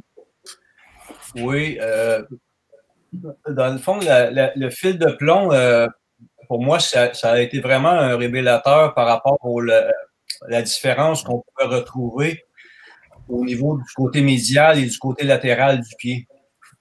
Euh, parce que euh, on a beau vouloir avoir des choses qui sont, qui pareilles des deux côtés. Euh, malheureusement, ça vieillit très mal. Si on prend un fer qui est équilibré, que les deux côtés, les deux parties sont médiales et latérales sont exactement les mêmes, on se rend compte qu'on peut le faire on, peut le faire, on peut l'ajuster au pied, hein, mais on va, on va être obligé de râper un petit peu plus le, quartier latéral. Et puis, euh, après une semaine de ferrage, on, se rend compte que le premier endroit où ce que le pied va déborder du fer, c'est toujours le quartier latéral. Donc, ça fait des pieds qui vieillissent très mal. Euh, et puis, ça, c'est une chose qui m'embêtait parce qu'à chaque fois, je regardais mes ferreux puis je me disais, ah, quoi que ça. Déjà, ça fait juste une semaine que je fais les ferrés, et puis je lève les pieds, puis déjà, ça déborde du côté extérieur. Je me disais, c'est pas normal, il y, a, quelque chose qui va pas. Et puis c'est à ce moment-là que j'ai eu l'idée de prendre le fil de plomb et le, fil d'étain, et puis de vraiment aller chercher la, forme. Et puis euh, j'avais fait ça par hasard chez nous un samedi en, le faisant sur un, un poney, et puis euh, j'avais ajusté le fer exactement comme le fil. Le poney était dehors, puis j'avais été, j'avais été mettre le fer sur le, sur le pied du poney, puis ça, fitait exactement au bon endroit. C'est-à-dire que le fil de plomb arrivait sur les étampures. Et j'avais vraiment une différence entre le côté médial et latéral. Là, je me suis dit, il y a quelque chose là, qui, quelque chose qui se passe, il y a quelque chose d'intéressant là-dessus.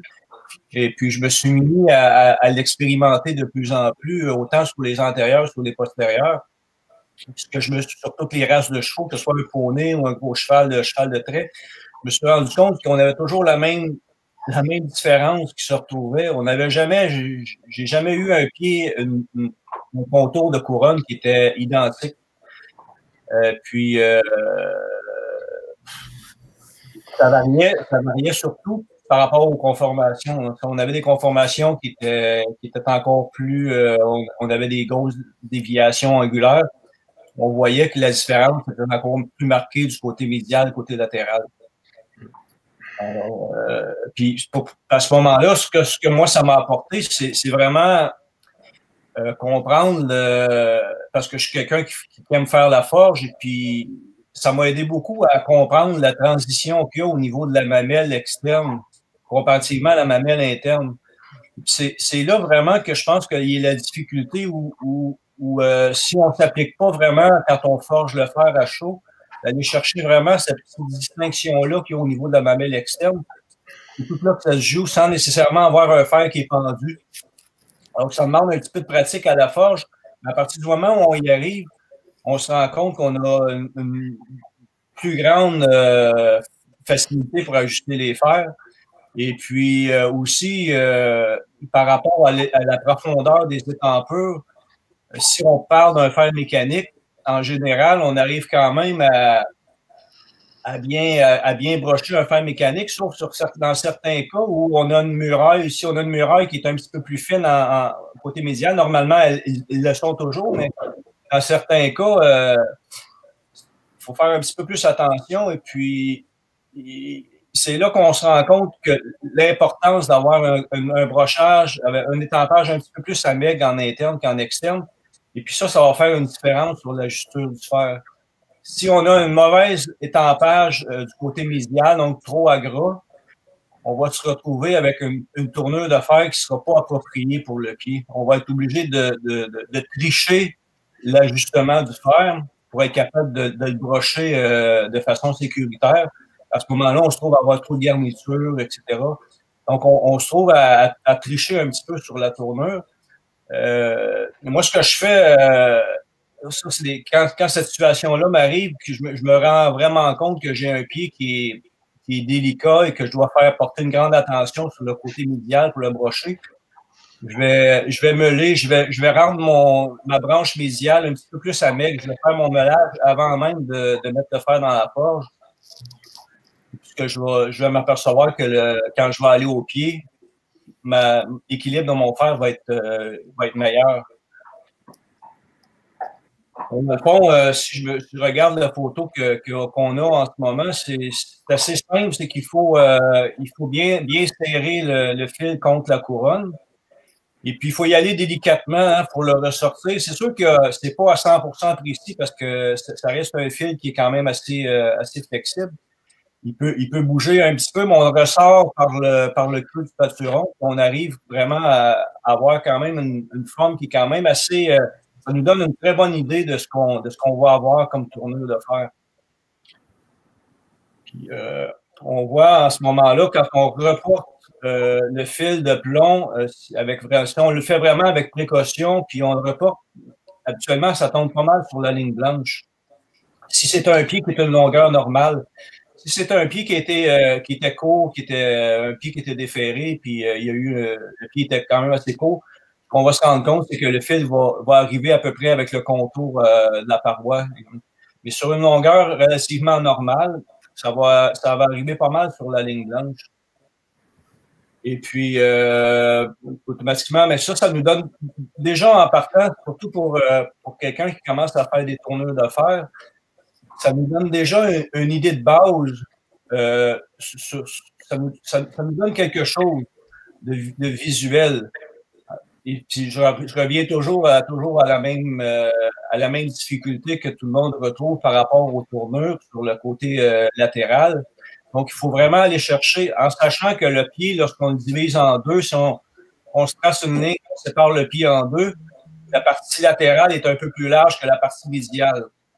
Donc, à partir de ce moment-là, on sait qu'on a, on a du travail à faire pour aller rejoindre ce, quartier latéral-là. Et sans nécessairement avoir un fer qui est, qui est pendu. Fait qu'il faut qu'il y ait une transition en quelque part. Cette transition-là, elle se passe vraiment au niveau de la mamelle externe. C'est vraiment là que se passe cette transition-là pour être capable d'aller d'aller bien ajuster le quartier latéral. C'est super important de bien ajuster le quartier latéral.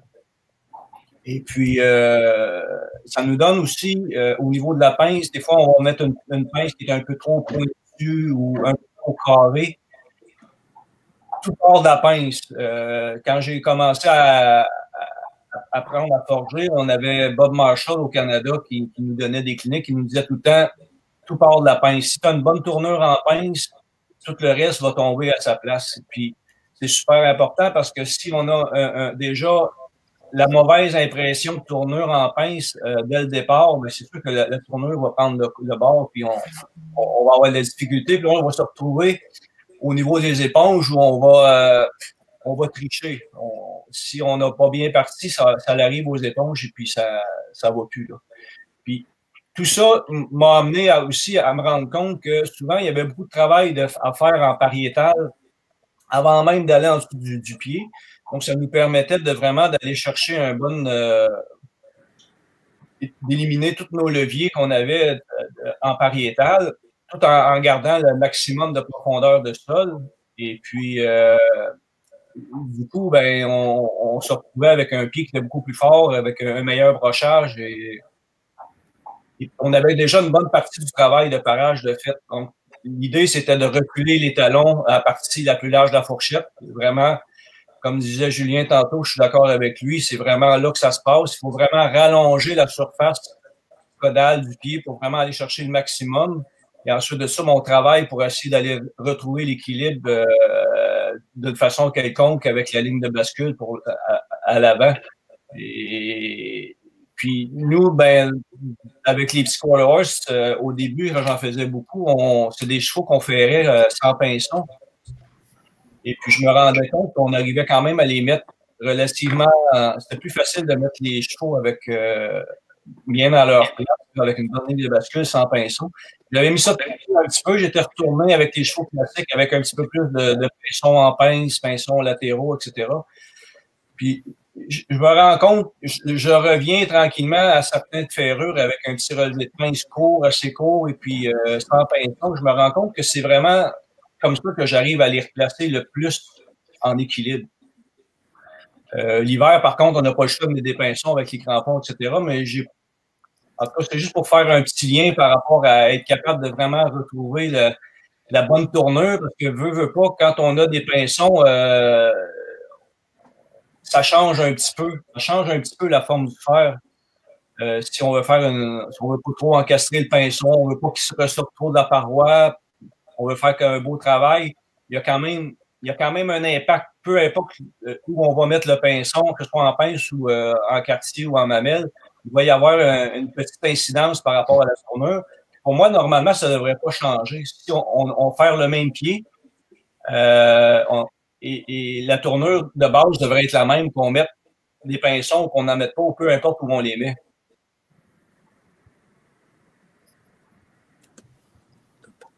Ok. Quelqu'un a une remarque Oui. Moi, si, si je peux me permettre, alors je, je rejoins complètement Claude. Euh, cette manière d'observer la couronne et de, de, chercher une tournure qui correspond à, cette couronne et être sous la couronne. Euh, il y a aussi des gros avantages. C'est encore une fois la, santé du pied. Le, pied. le pied vient très fort, mais aussi, euh, et c'est pas négligeable, euh, on a beaucoup moins, beaucoup moins besoin de mettre de garniture parce qu'on a beaucoup moins euh, le pied qui, sort du fer, on est beaucoup plus sous la conformation et sportivement parlant, c'est pas négligeable dans le sens où on dit on a beaucoup moins de problèmes de levier. Euh, la garniture, tout le monde sait que c'est pas quelque chose de sportif. On a, c'est peut-être du confort, mais c'est pas sportif. Donc il y a vraiment dans cette manière d'ajuster on a, vraiment après euh, un fer qui est, plus près en définitive de la boîte cornée. On a moins besoin de mettre de place. Et ça, c'est vraiment quelque chose pour moi de, positif et d'important.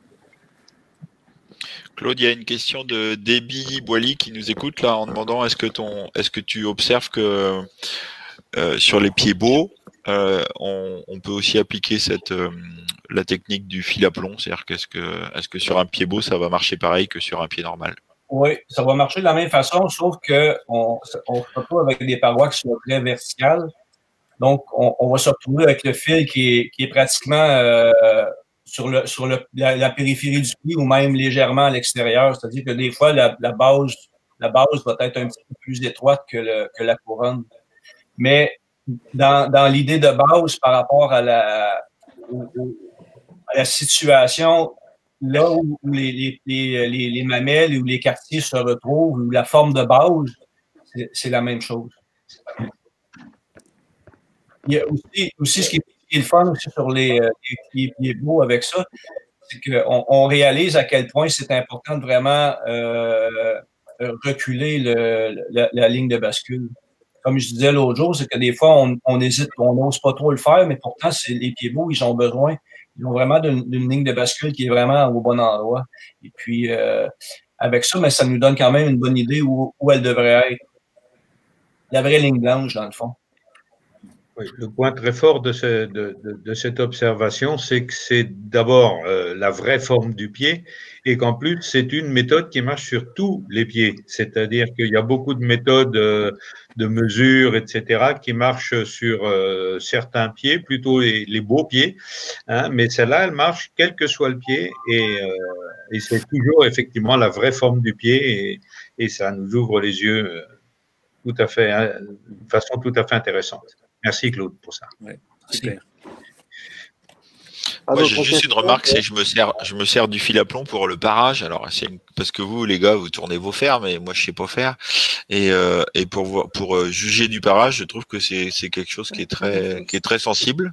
Mm. Et, et, et Sarah, tu, tu partages mon, mon avis aussi, ça, pour l'utilisation. Oui, absolument. Euh, moi non plus, je ne peux pas tourner à faire, mais en fait, ça revient à l'idée du pied physiologique du cheval. Et effectivement, euh, sur un pied beau, euh, euh, le client va avoir l'impression qu'on a probablement exacerbé le pied beau en appliquant cette technique-là, mais c'est ce qui est approprié pour la pousse du pied qui vient de la corner. Donc, ouais, je suis entièrement d'accord avec toi, Sébastien. c'est, c'est ce que j'observe aussi.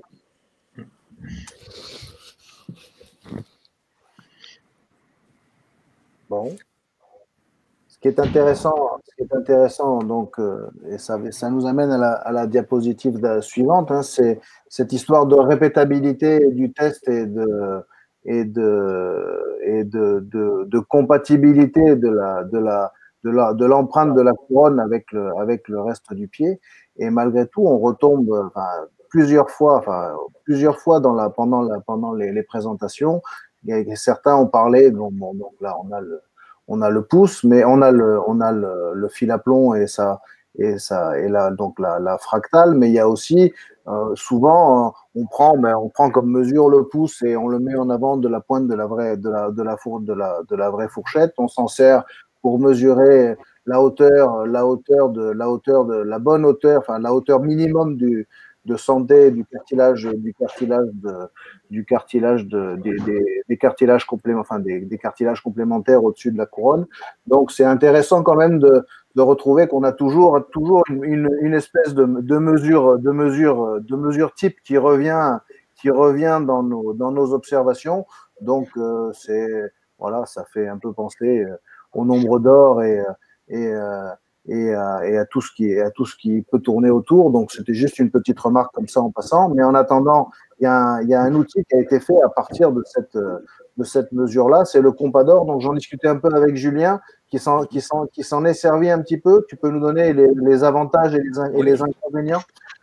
Alors, euh, effectivement, moi j'en ai un. Je l'utilise pas vraiment parce que, parce que j'ai le sentiment qu'avec les autres techniques, euh, c'est pour moi plus rapide et plus. Enfin bref.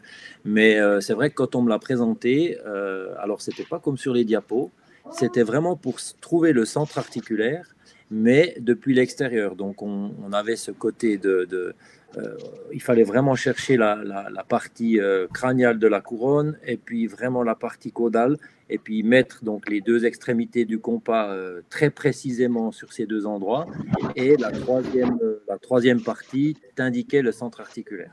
Donc, euh, c'est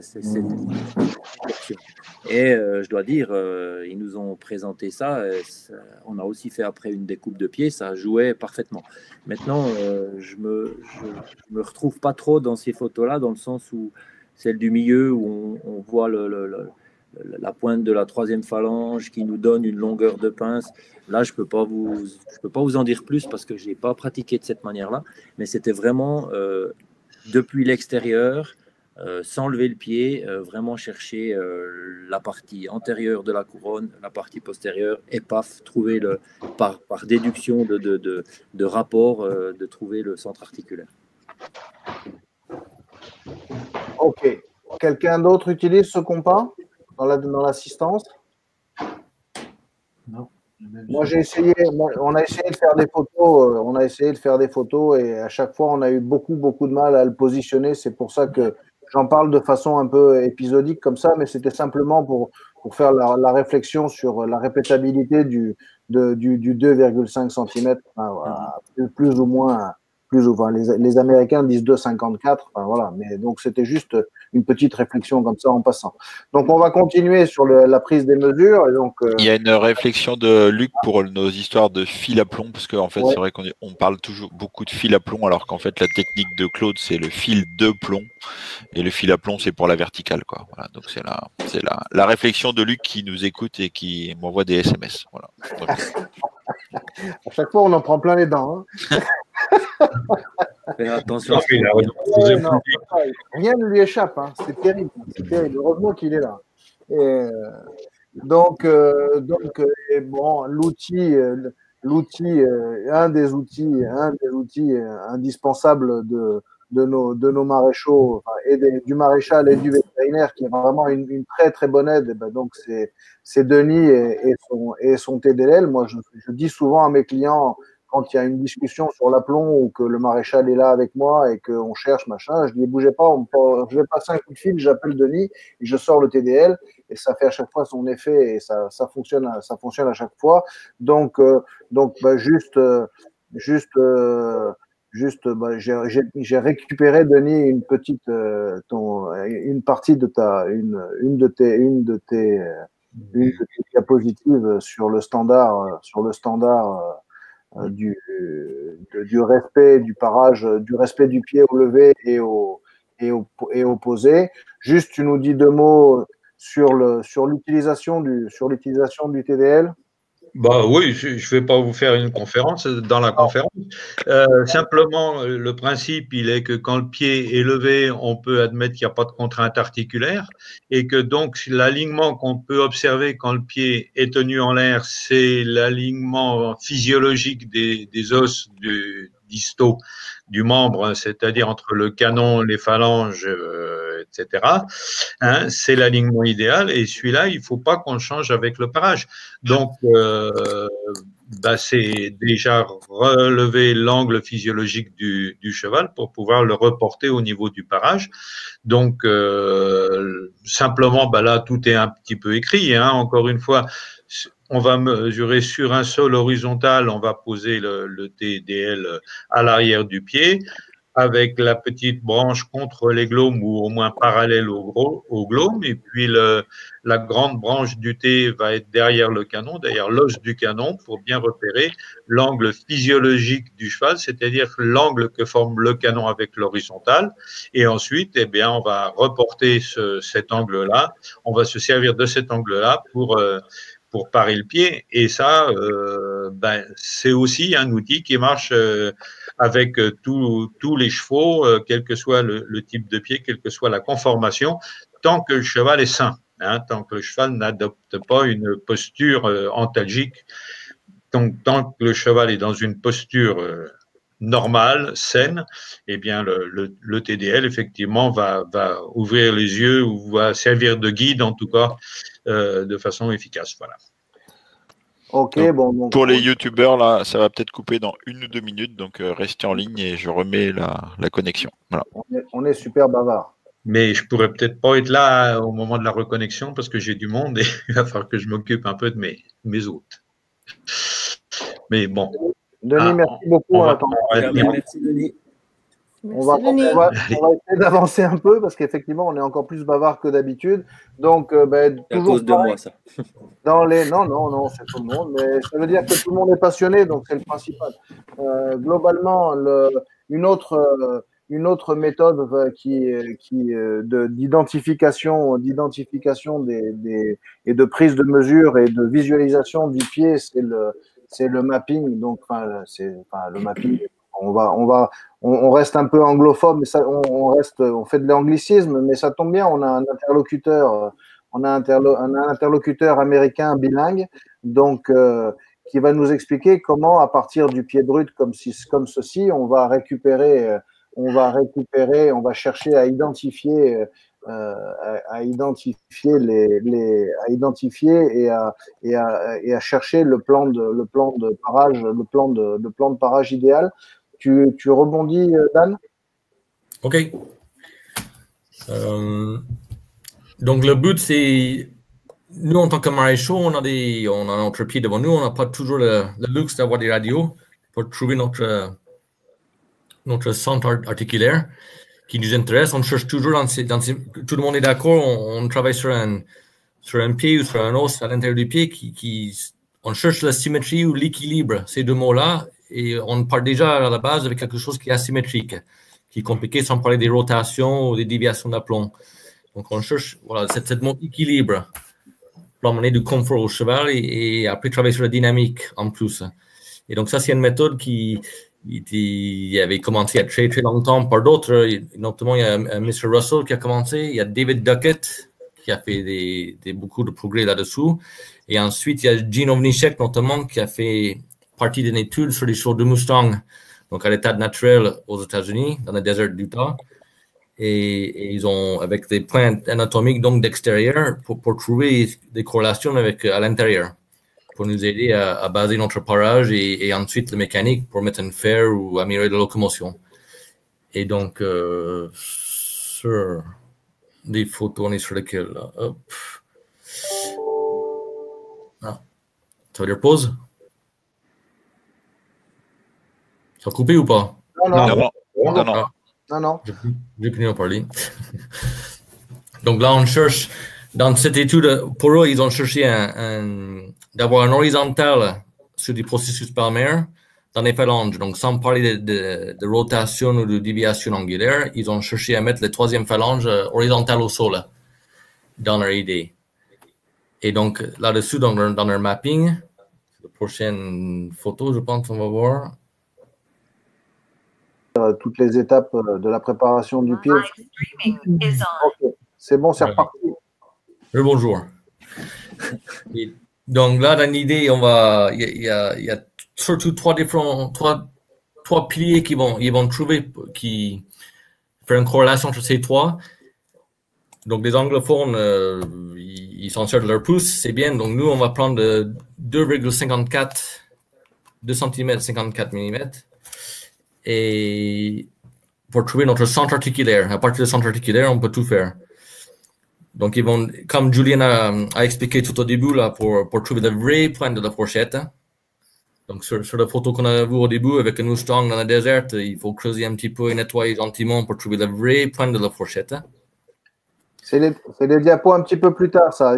Ça, c'est les différentes étapes pour euh, obtenir, euh, obtenir aussi le, le, plan. Donc, redécrit décrit déjà la préparation des lacunes, enfin la préparation du pied pour les, toutes les mesures. Attends, parce que j'ai pas les mêmes devant moi. Ok, ça marche. Donc là, ils sont en train de nettoyer d'abord notre la sur la fourchette pour trouver le, le vrai point, le, le, le, plus distal, le plus caudal de la, de la fourchette. Dan, il faudrait que tu regardes le Jitsi Meet et pas le YouTube là, parce que si tu regardes sur YouTube, il y a un décalage. Donc il faut que tu regardes le, là où tu parles, quoi, le Jitsi Meet. Ouais. D'accord. C'est bon hein, faut que tu... Sinon, il y a, y a, un petit décalage de quelques secondes. Si je clique euh, dessous, il va s'agrandir ou pas Parce que je dois Attends, bouge pas. Excuse-moi. Faut, que tu coupes, faut que tu coupes ton YouTube et que tu mets timide en plein écran. Ouais. Oula, ça c'est où ça? Ce qui est important, donc, c'est effectivement pour, pour avoir une, pour faire une bonne, pour faire une bonne, une, des bonnes mesures, enfin pour faire des bonnes mesures, il faut et quand même malgré tout essayer d'identifier les structures. Donc, euh, simplement, sans, sans, sans, aller sur un, sur un nettoyage agressif, il faut déjà au moins prendre avec à l'aide d'un feutre, euh, essayer d'identifier, ben, d'identifier la, la, lacune, la lacune médiane et les lacunes latérales. C'est le, c'est le, c'est les photos, c'est les, donc un petit nettoyage avec une rainette, hein, euh, et on marque, on marque le triangle, le triangle que représente la lacune médiane quand elle est, quand elle est, quand elle est, quand elle est propre, enfin quand elle est à peu près inter, euh, visualisable. Hein. Et après, après quand sur des pieds en mauvaise, en mauvaise santé, ben c'est sûr qu'on a, on a toujours un tout petit peu plus de mal. Mais l'idée est de toujours euh, essayer d'identifier ce triangle-là pour positionner pour positionner la partie la plus large de la fourchette. C'est bon, Dan, tu y es? Oui, je crois, je crois, oui. OK. Voilà. C'est bon? Je passe à la suivante Oui, s'il te plaît, oui. Donc, tout, donc ça, c'est un de nos repères pour, trouver, pour, pour équilibrer cette centre articulaire. Donc, ça, c'est notre repère, la partie le plus, le plus en arrière, le plus, le plus caudal dans notre équilibre. Ensuite, Ensuite, on a des barres qui, qui, qui commencent, enfin, qui sont, c'est des talons, en fait, qui, qui, qui, repartent. Et si on nettoie bien nos barres, alors il faut pas les enlever complètement, il faut les nettoyer. C'est pareil, on, voit sur, sur, cette photo qui, voilà, sur, sur, le côté gauche de votre écran, qui, est très infléchi, qui est très arrondi, et à droite qui, qui est plus droite. Mais on voit avec là où il y a le stylo, où les barres s'arrêtent, la terminaison des barres, en fait qui sont normalement ou pile sur le, le de centre articulaire ou pas loin. Et c'est pour ça qu'il y a des trois différents repères, parce qu'entre les trois, des fois, il y en a un qui n'est pas tout à fait au millimètre près ou comme il faut. Donc, entre les trois, on, on, va, trouver, on va tomber juste. Voilà. Donc, c'est pareil, on voit aussi le stylo où il a marqué son talon, mais c'est des talons qui ne sont pas encore pareil, parce que c'est pas le talon, il ne faut pas qu'il soit là, il faut qu'il soit plus plus codal que ça. Sinon, il est en train de. Il y, a, tout le derrière du pied qui est en train de, de, ne pas marcher. Il y, a, une pathologie qui s'installe là. Donc, on, on, trace nos barres. Ensuite, on va parer peut-être un peu le sol, gentiment. Voilà. Sur la périphérie du, du pied. Et, et ça, c'est pour trouver le vrai. Alors, les talons, justement, les talons, ils peuvent se déformer la ligne blanche, il va bouger, les talons vont pousser vers l'avant, et la pince aussi. Par contre, la partie la plus large, comme Julien a, dit plus tôt, et Claude aussi, je pense, c'est la sole. La sole, la partie la plus large du pied, lui, ne se déforme pas. Il va, les parois vont se déformer, ils vont bouger, mais pas la sole. Et donc là, on va marquer. Là, on voit la clarinette, il est en train de trouver le vrai point de la fourchette. Comme précisé tout à l'heure, hein, donc pour positionner, pour, pour, prendre la prise des mesures dépend essentiellement de la, de, la, localisation de la vraie pointe de la fourchette. Donc ça, c'est effectivement, il faut passer un petit peu de temps à nettoyer cette région-là. Oui, mais par contre, pour nous, Veto, Béotien, là, vous êtes gentils, les gars, mais la vraie pointe de la fourchette, euh, comment tu sais si tu en as trop coupé ou pas assez? Quand c'est rouge, il faut arrêter. Alors, ça va. non, mais c'est la, c'est la, c'est vraiment ça le repère Non, ça, vient des trois. Ça vient des trois. Mais c'est un qui est assez important quand même. Voilà. Julien? Bah, Non, je trouve que euh, la question, euh, la question euh, de Sébastien, c'était plus c'est quoi vraiment le repère Est-ce qu'il faut que ça saigne? Mais non, le but, c'est vraiment de, de, de, trouver cette liaison fourchette, saule, où tout d'un coup, tac, on voit très bien qu'il n'y a plus de choses qui sont dissociées, mais ça se ça se, ça se retrouve et tac, c'est là qu'on arrête. Exactement. Le but, c'est pas d'affaiblir. Le but, c'est de trouver où la terminaison se, se joint. Exactement. Le but, c'est de ne pas affaiblir dessous. Hein. Et ça, ça dépend pas de ton épaisseur de sol. Alors, euh, oui. Ah, excuse, euh, Dan. Vas-y, vas-y. Alors oui, c'est oui, dans le sens où le cheval, s'il a une immense fourchette ou euh, une immense saule, comme on a vu le pied nu euh, dans le désert américain, euh, forcément là, il va falloir descendre en, épaisseur pour trouver cette liaison. Mais sur les chevaux de sel ou les chevaux chez nous, on part vraiment depuis la saule en direction de la fourchette et pas l'inverse pour vraiment chercher cette liaison sans diminuer l'épaisseur de sol. Ça, c'est quand même important parce que même si c'est un petit endroit, ça donne après un petit endroit qui est susceptible d'être plus sensible euh, si on a, on a fait un espèce de forage là. Euh, si le cheval marche après sur un caillou à cet endroit-là et que vous avez enlevé de la masse, forcément, euh, c'est de l'inconfort. Donc, le but, c'est toujours de, garder le confort, mais de trouver les structures. Et c'est un peu comme Dan a dit pour les, les bars. Les bars, ça se nettoie. C'est toujours dans la recherche de, des structures et de la, des liaisons de structures. Tout d'un coup, tac, on se rend compte que qu'on n'a plus deux structures, mais une, et on y est. Voilà. Voilà, c'est pour, pour vous les vétérinaires, je pense que c'est ça qui est important. C'est vraiment cette liaison entre les deux qu'il faut que vous arriviez à, trouver. Sinon, euh, sinon, ça ne vous donne pas le bon repère, je pense. Merci les gars. Faut toujours vous faut tirer les, les verres du nez hein, pour avoir le truc à la fin. Non, mais c'est important parce qu'en fait, euh, vous parlez vous de, choses que vous que vous gérez tous les jours, mais euh, mais c'est pas si simple quoi en fait à appréhender. Donc euh, merci en tout cas de l'explication ça fait des plombes que on me parle de la vraie pointe de la fourchette et, personne me l'a expliqué comme ça. Donc euh, donc merci. Alors sur cette photo là justement peut-être que le sol a été trop nettoyé mais pour montrer l'exemple mais voilà on n'a pas besoin de nettoyer tout le sol comme ils ont fait là pour, pour trouver la pointe de la fourchette. Aussi entre parenthèses. Ok, donc on retombe, on retombe toujours sur les mêmes, sur les mêmes, sur les mêmes rapports, là, un tiers, deux tiers. Donc tu décris juste euh, avec le, ce que, ce que, je, ce que la pointe de la fourchette se trouve pratiquement toujours au double de la distance de la base de la lacune médiane. Donc c'est une façon de croiser les informations, c'est ça? Exactement.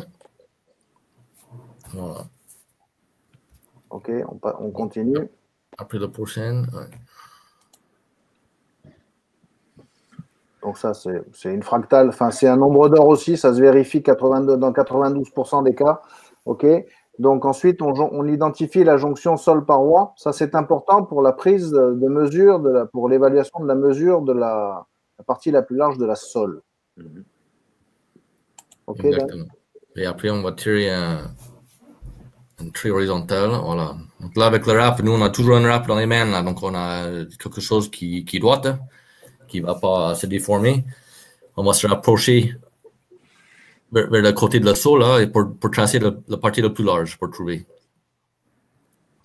Donc après, on fait ces mesures. Vas-y, vas-y, c'est bon là.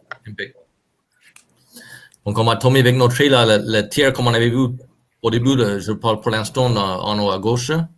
Le un tiers là, donc on tombe, on a trouvé notre, notre équilibre, notre milieu articulaire.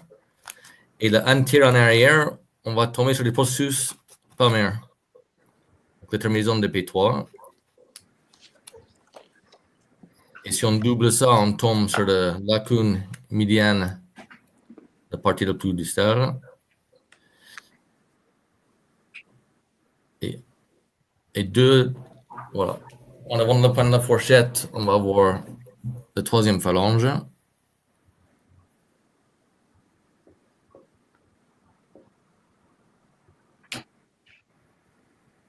Je ne sais pas si j'étais assez clair ou si quelqu'un m'a dit.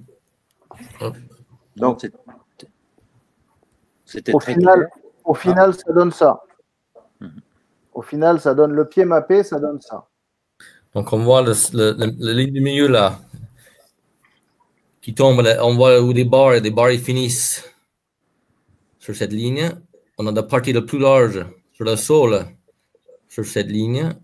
Et après, si on mesurait les 2,54 au point arrière, on tombe, les trois, les trois ils vont tomber, on a notre équilibre articulaire qui a été vérifié après en, dans notre étude, 94% des cas, ils sont tombés juste avec ces points anatomiques à l'extérieur sur une radio. Ils sont tombés juste. Et les 6% restants, il y en avait 8% euh, restants, il y en avait, euh, il y en avait quelques pieds là-dedans, et les autres, ils étaient à 2 mm près euh, d'être corrects.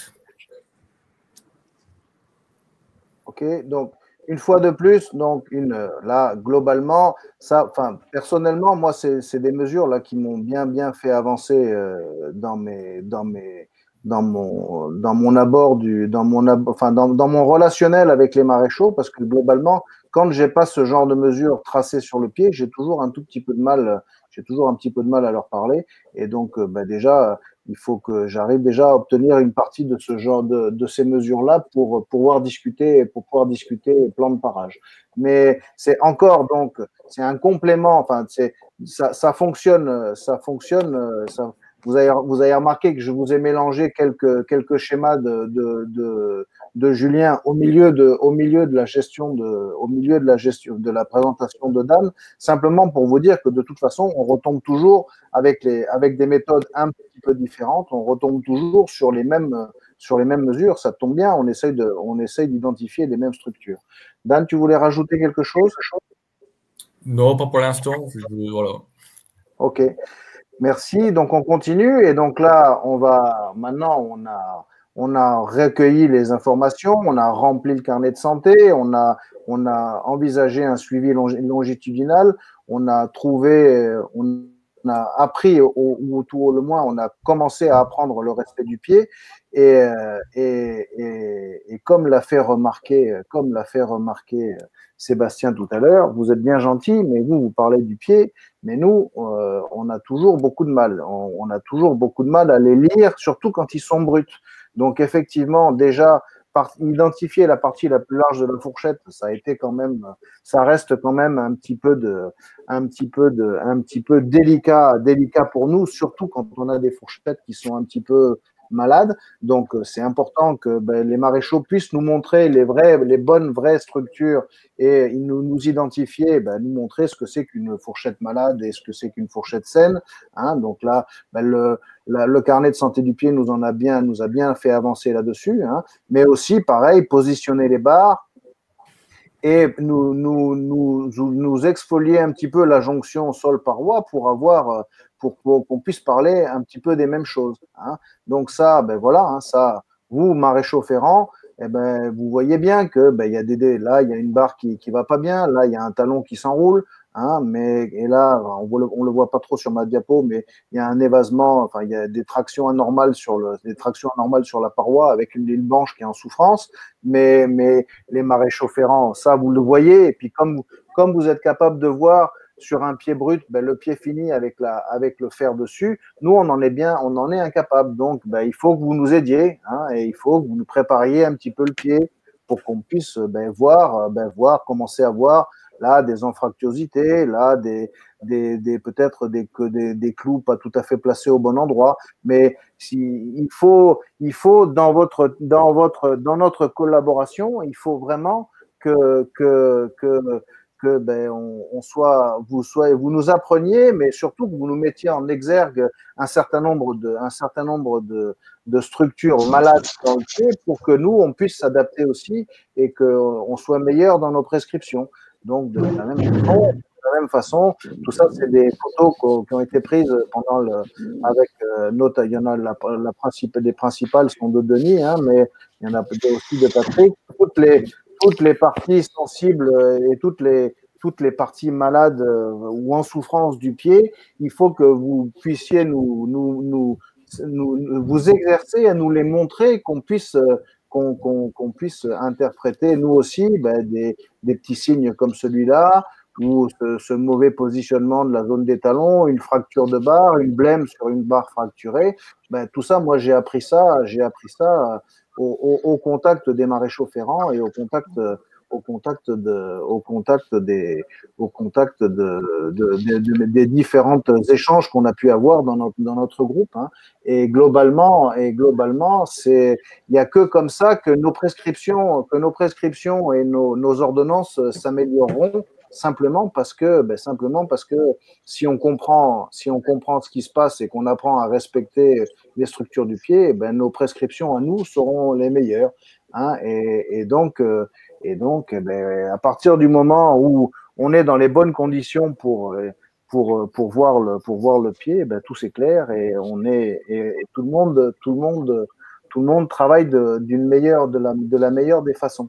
Donc simplement, donc pour conclure, parce qu'on a quand même encore été super bavard aujourd'hui, hein, il y a beaucoup d'outils, beaucoup de techniques.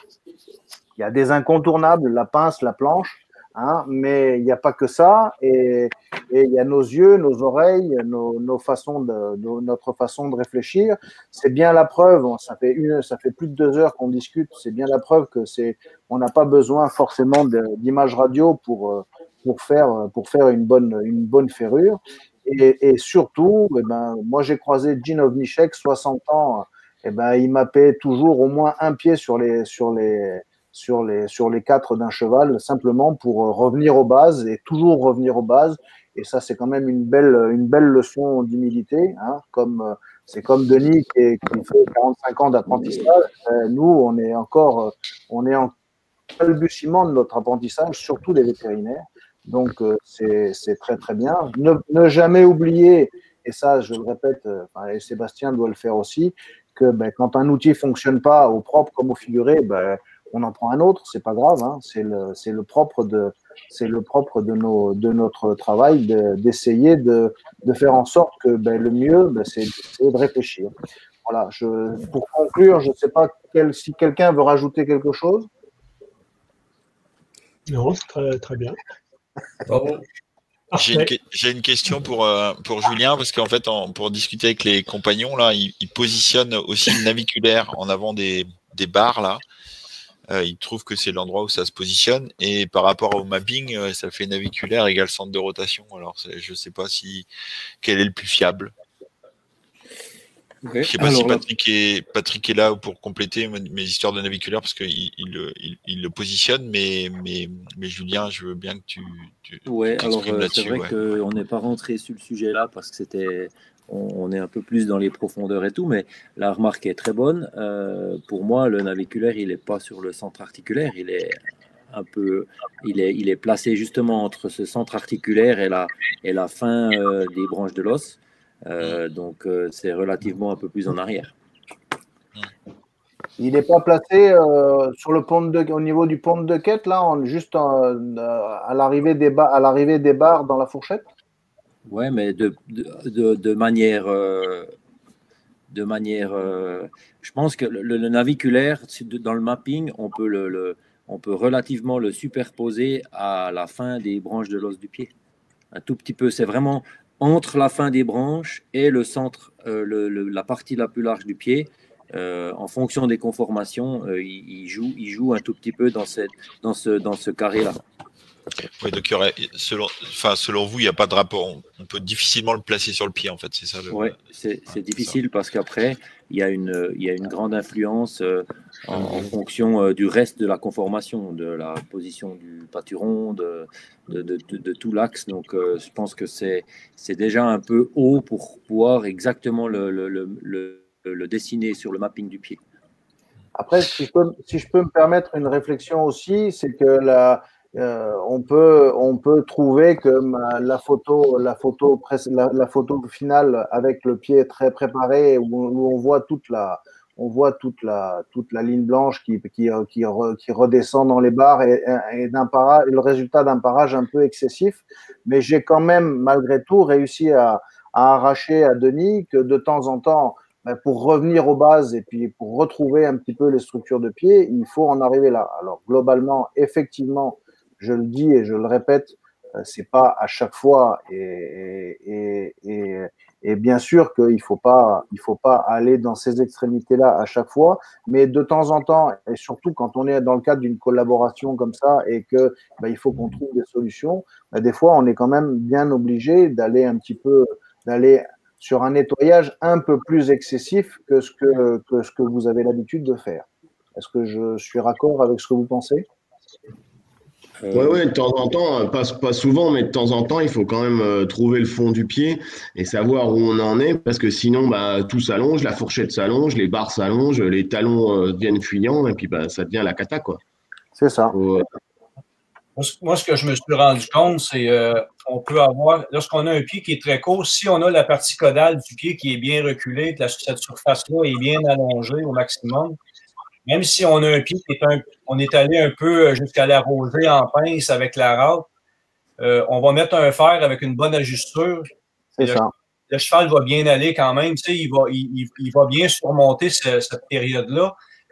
Mais par contre, parce que je l'ai fait souvent, euh, si, on, si on met la pince trop courte et qu'on laisse trop de talons, que la surface caudale est trop courte et pas à sa place, là, on va avoir un cheval qui va boiter longtemps. C'est ça toutes les précautions qu'on va prendre. Et après, j'ai encore une question euh, pour les maréchaux. Là. il y, a, il y a des fois, en fonction des, des couleurs de sol, on a l'impression de voir où est la, où est la, la phalange, parce qu'il y a, il y a quand même une variation de couleur là, de la sol.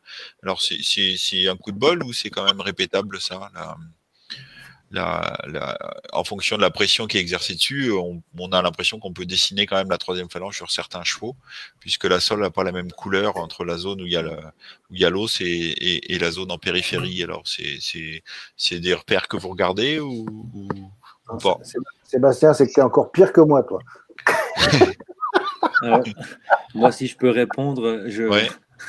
Je peux pas du tout te répondre. En, en l'occurrence, euh, je ne coupe jamais la saule. J'ai plutôt tendance à brosser. Et là, on se rend compte qu'en brossant, on enlève tout ce qui veut partir et tout ce qui reste, reste. Et c'est vraiment un bon moyen de garder un pied sain. Donc, de cette manière-là, le fait de ne pas couper, de ne pas parer la saule, on a beaucoup moins ces pigmentations, ces couleurs qui sortent. Mais euh, voilà, euh, c'est une bonne question. Mais Parce que c'est sûr qu'on si le voit, sur, on le voit sur les question, pur c'est que sang, on le voit sur les, on le voit Oui, sur les à mon, avis, pas de pied en fait quoi. Ouais. Ouais. En général, c'est une histoire de pathologie à un moment donné.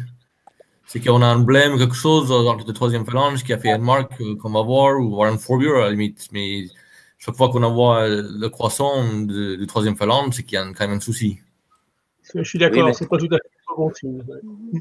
Ouais, ouais, la, la- la- la paire de plaques s'impose. Pour revenir à ce qu'on disait tout à l'heure sur, euh, sur savoir quand on a un pied, si- s'il reste du pied ou pas, alors avec le test de la rosée ou pas, on voit ça surtout, enfin moi je vois ça surtout sur des pieds un petit peu étroits où euh, on va parer le pied, et y compris la sole quand on a un pied assez creux des fois, et on a du mal à savoir, on, on pose le pied, on se dit il me reste du pied. Il y a, il y a certains chevaux comme ça qui ont une sorte de double sol, et des fois sur ces chevaux-là, eh bien, ça peut être intéressant effectivement d'essayer d'évaluer cette épaisseur pour, euh, pour savoir où on en est et pour pas laisser un pied trop long, sans, sans vouloir, sans, sans prendre le risque de l'affaiblir. Euh, ou ceux, ceux qui ont des plaques longtemps, ceux qui ont des plaques longtemps et euh, qu'on enlève en hiver euh, et euh, tu sais pas vraiment où est, où est le pied et des fois euh, euh, ils ont tellement fait de, de surépaisseur de sol que tu sais plus vraiment où est la réalité.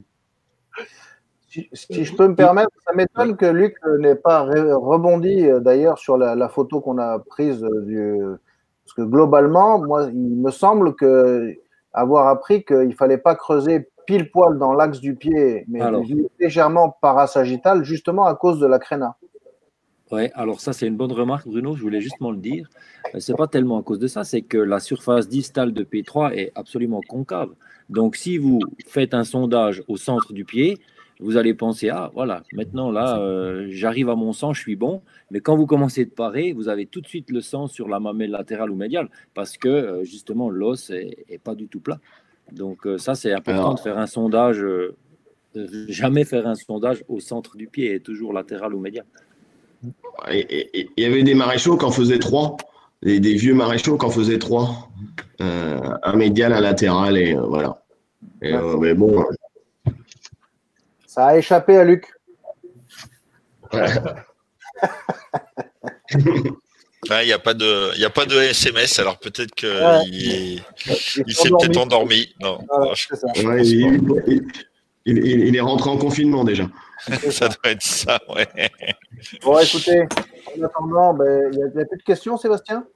J'ai pas de, j'ai pas j'ai pas de truc sur, euh, alors, non, j'ai rien sur, euh, sur Facebook. Il y a des gens qui nous disent merci et voilà quoi. Et Luc, euh, non, je suis d'accord.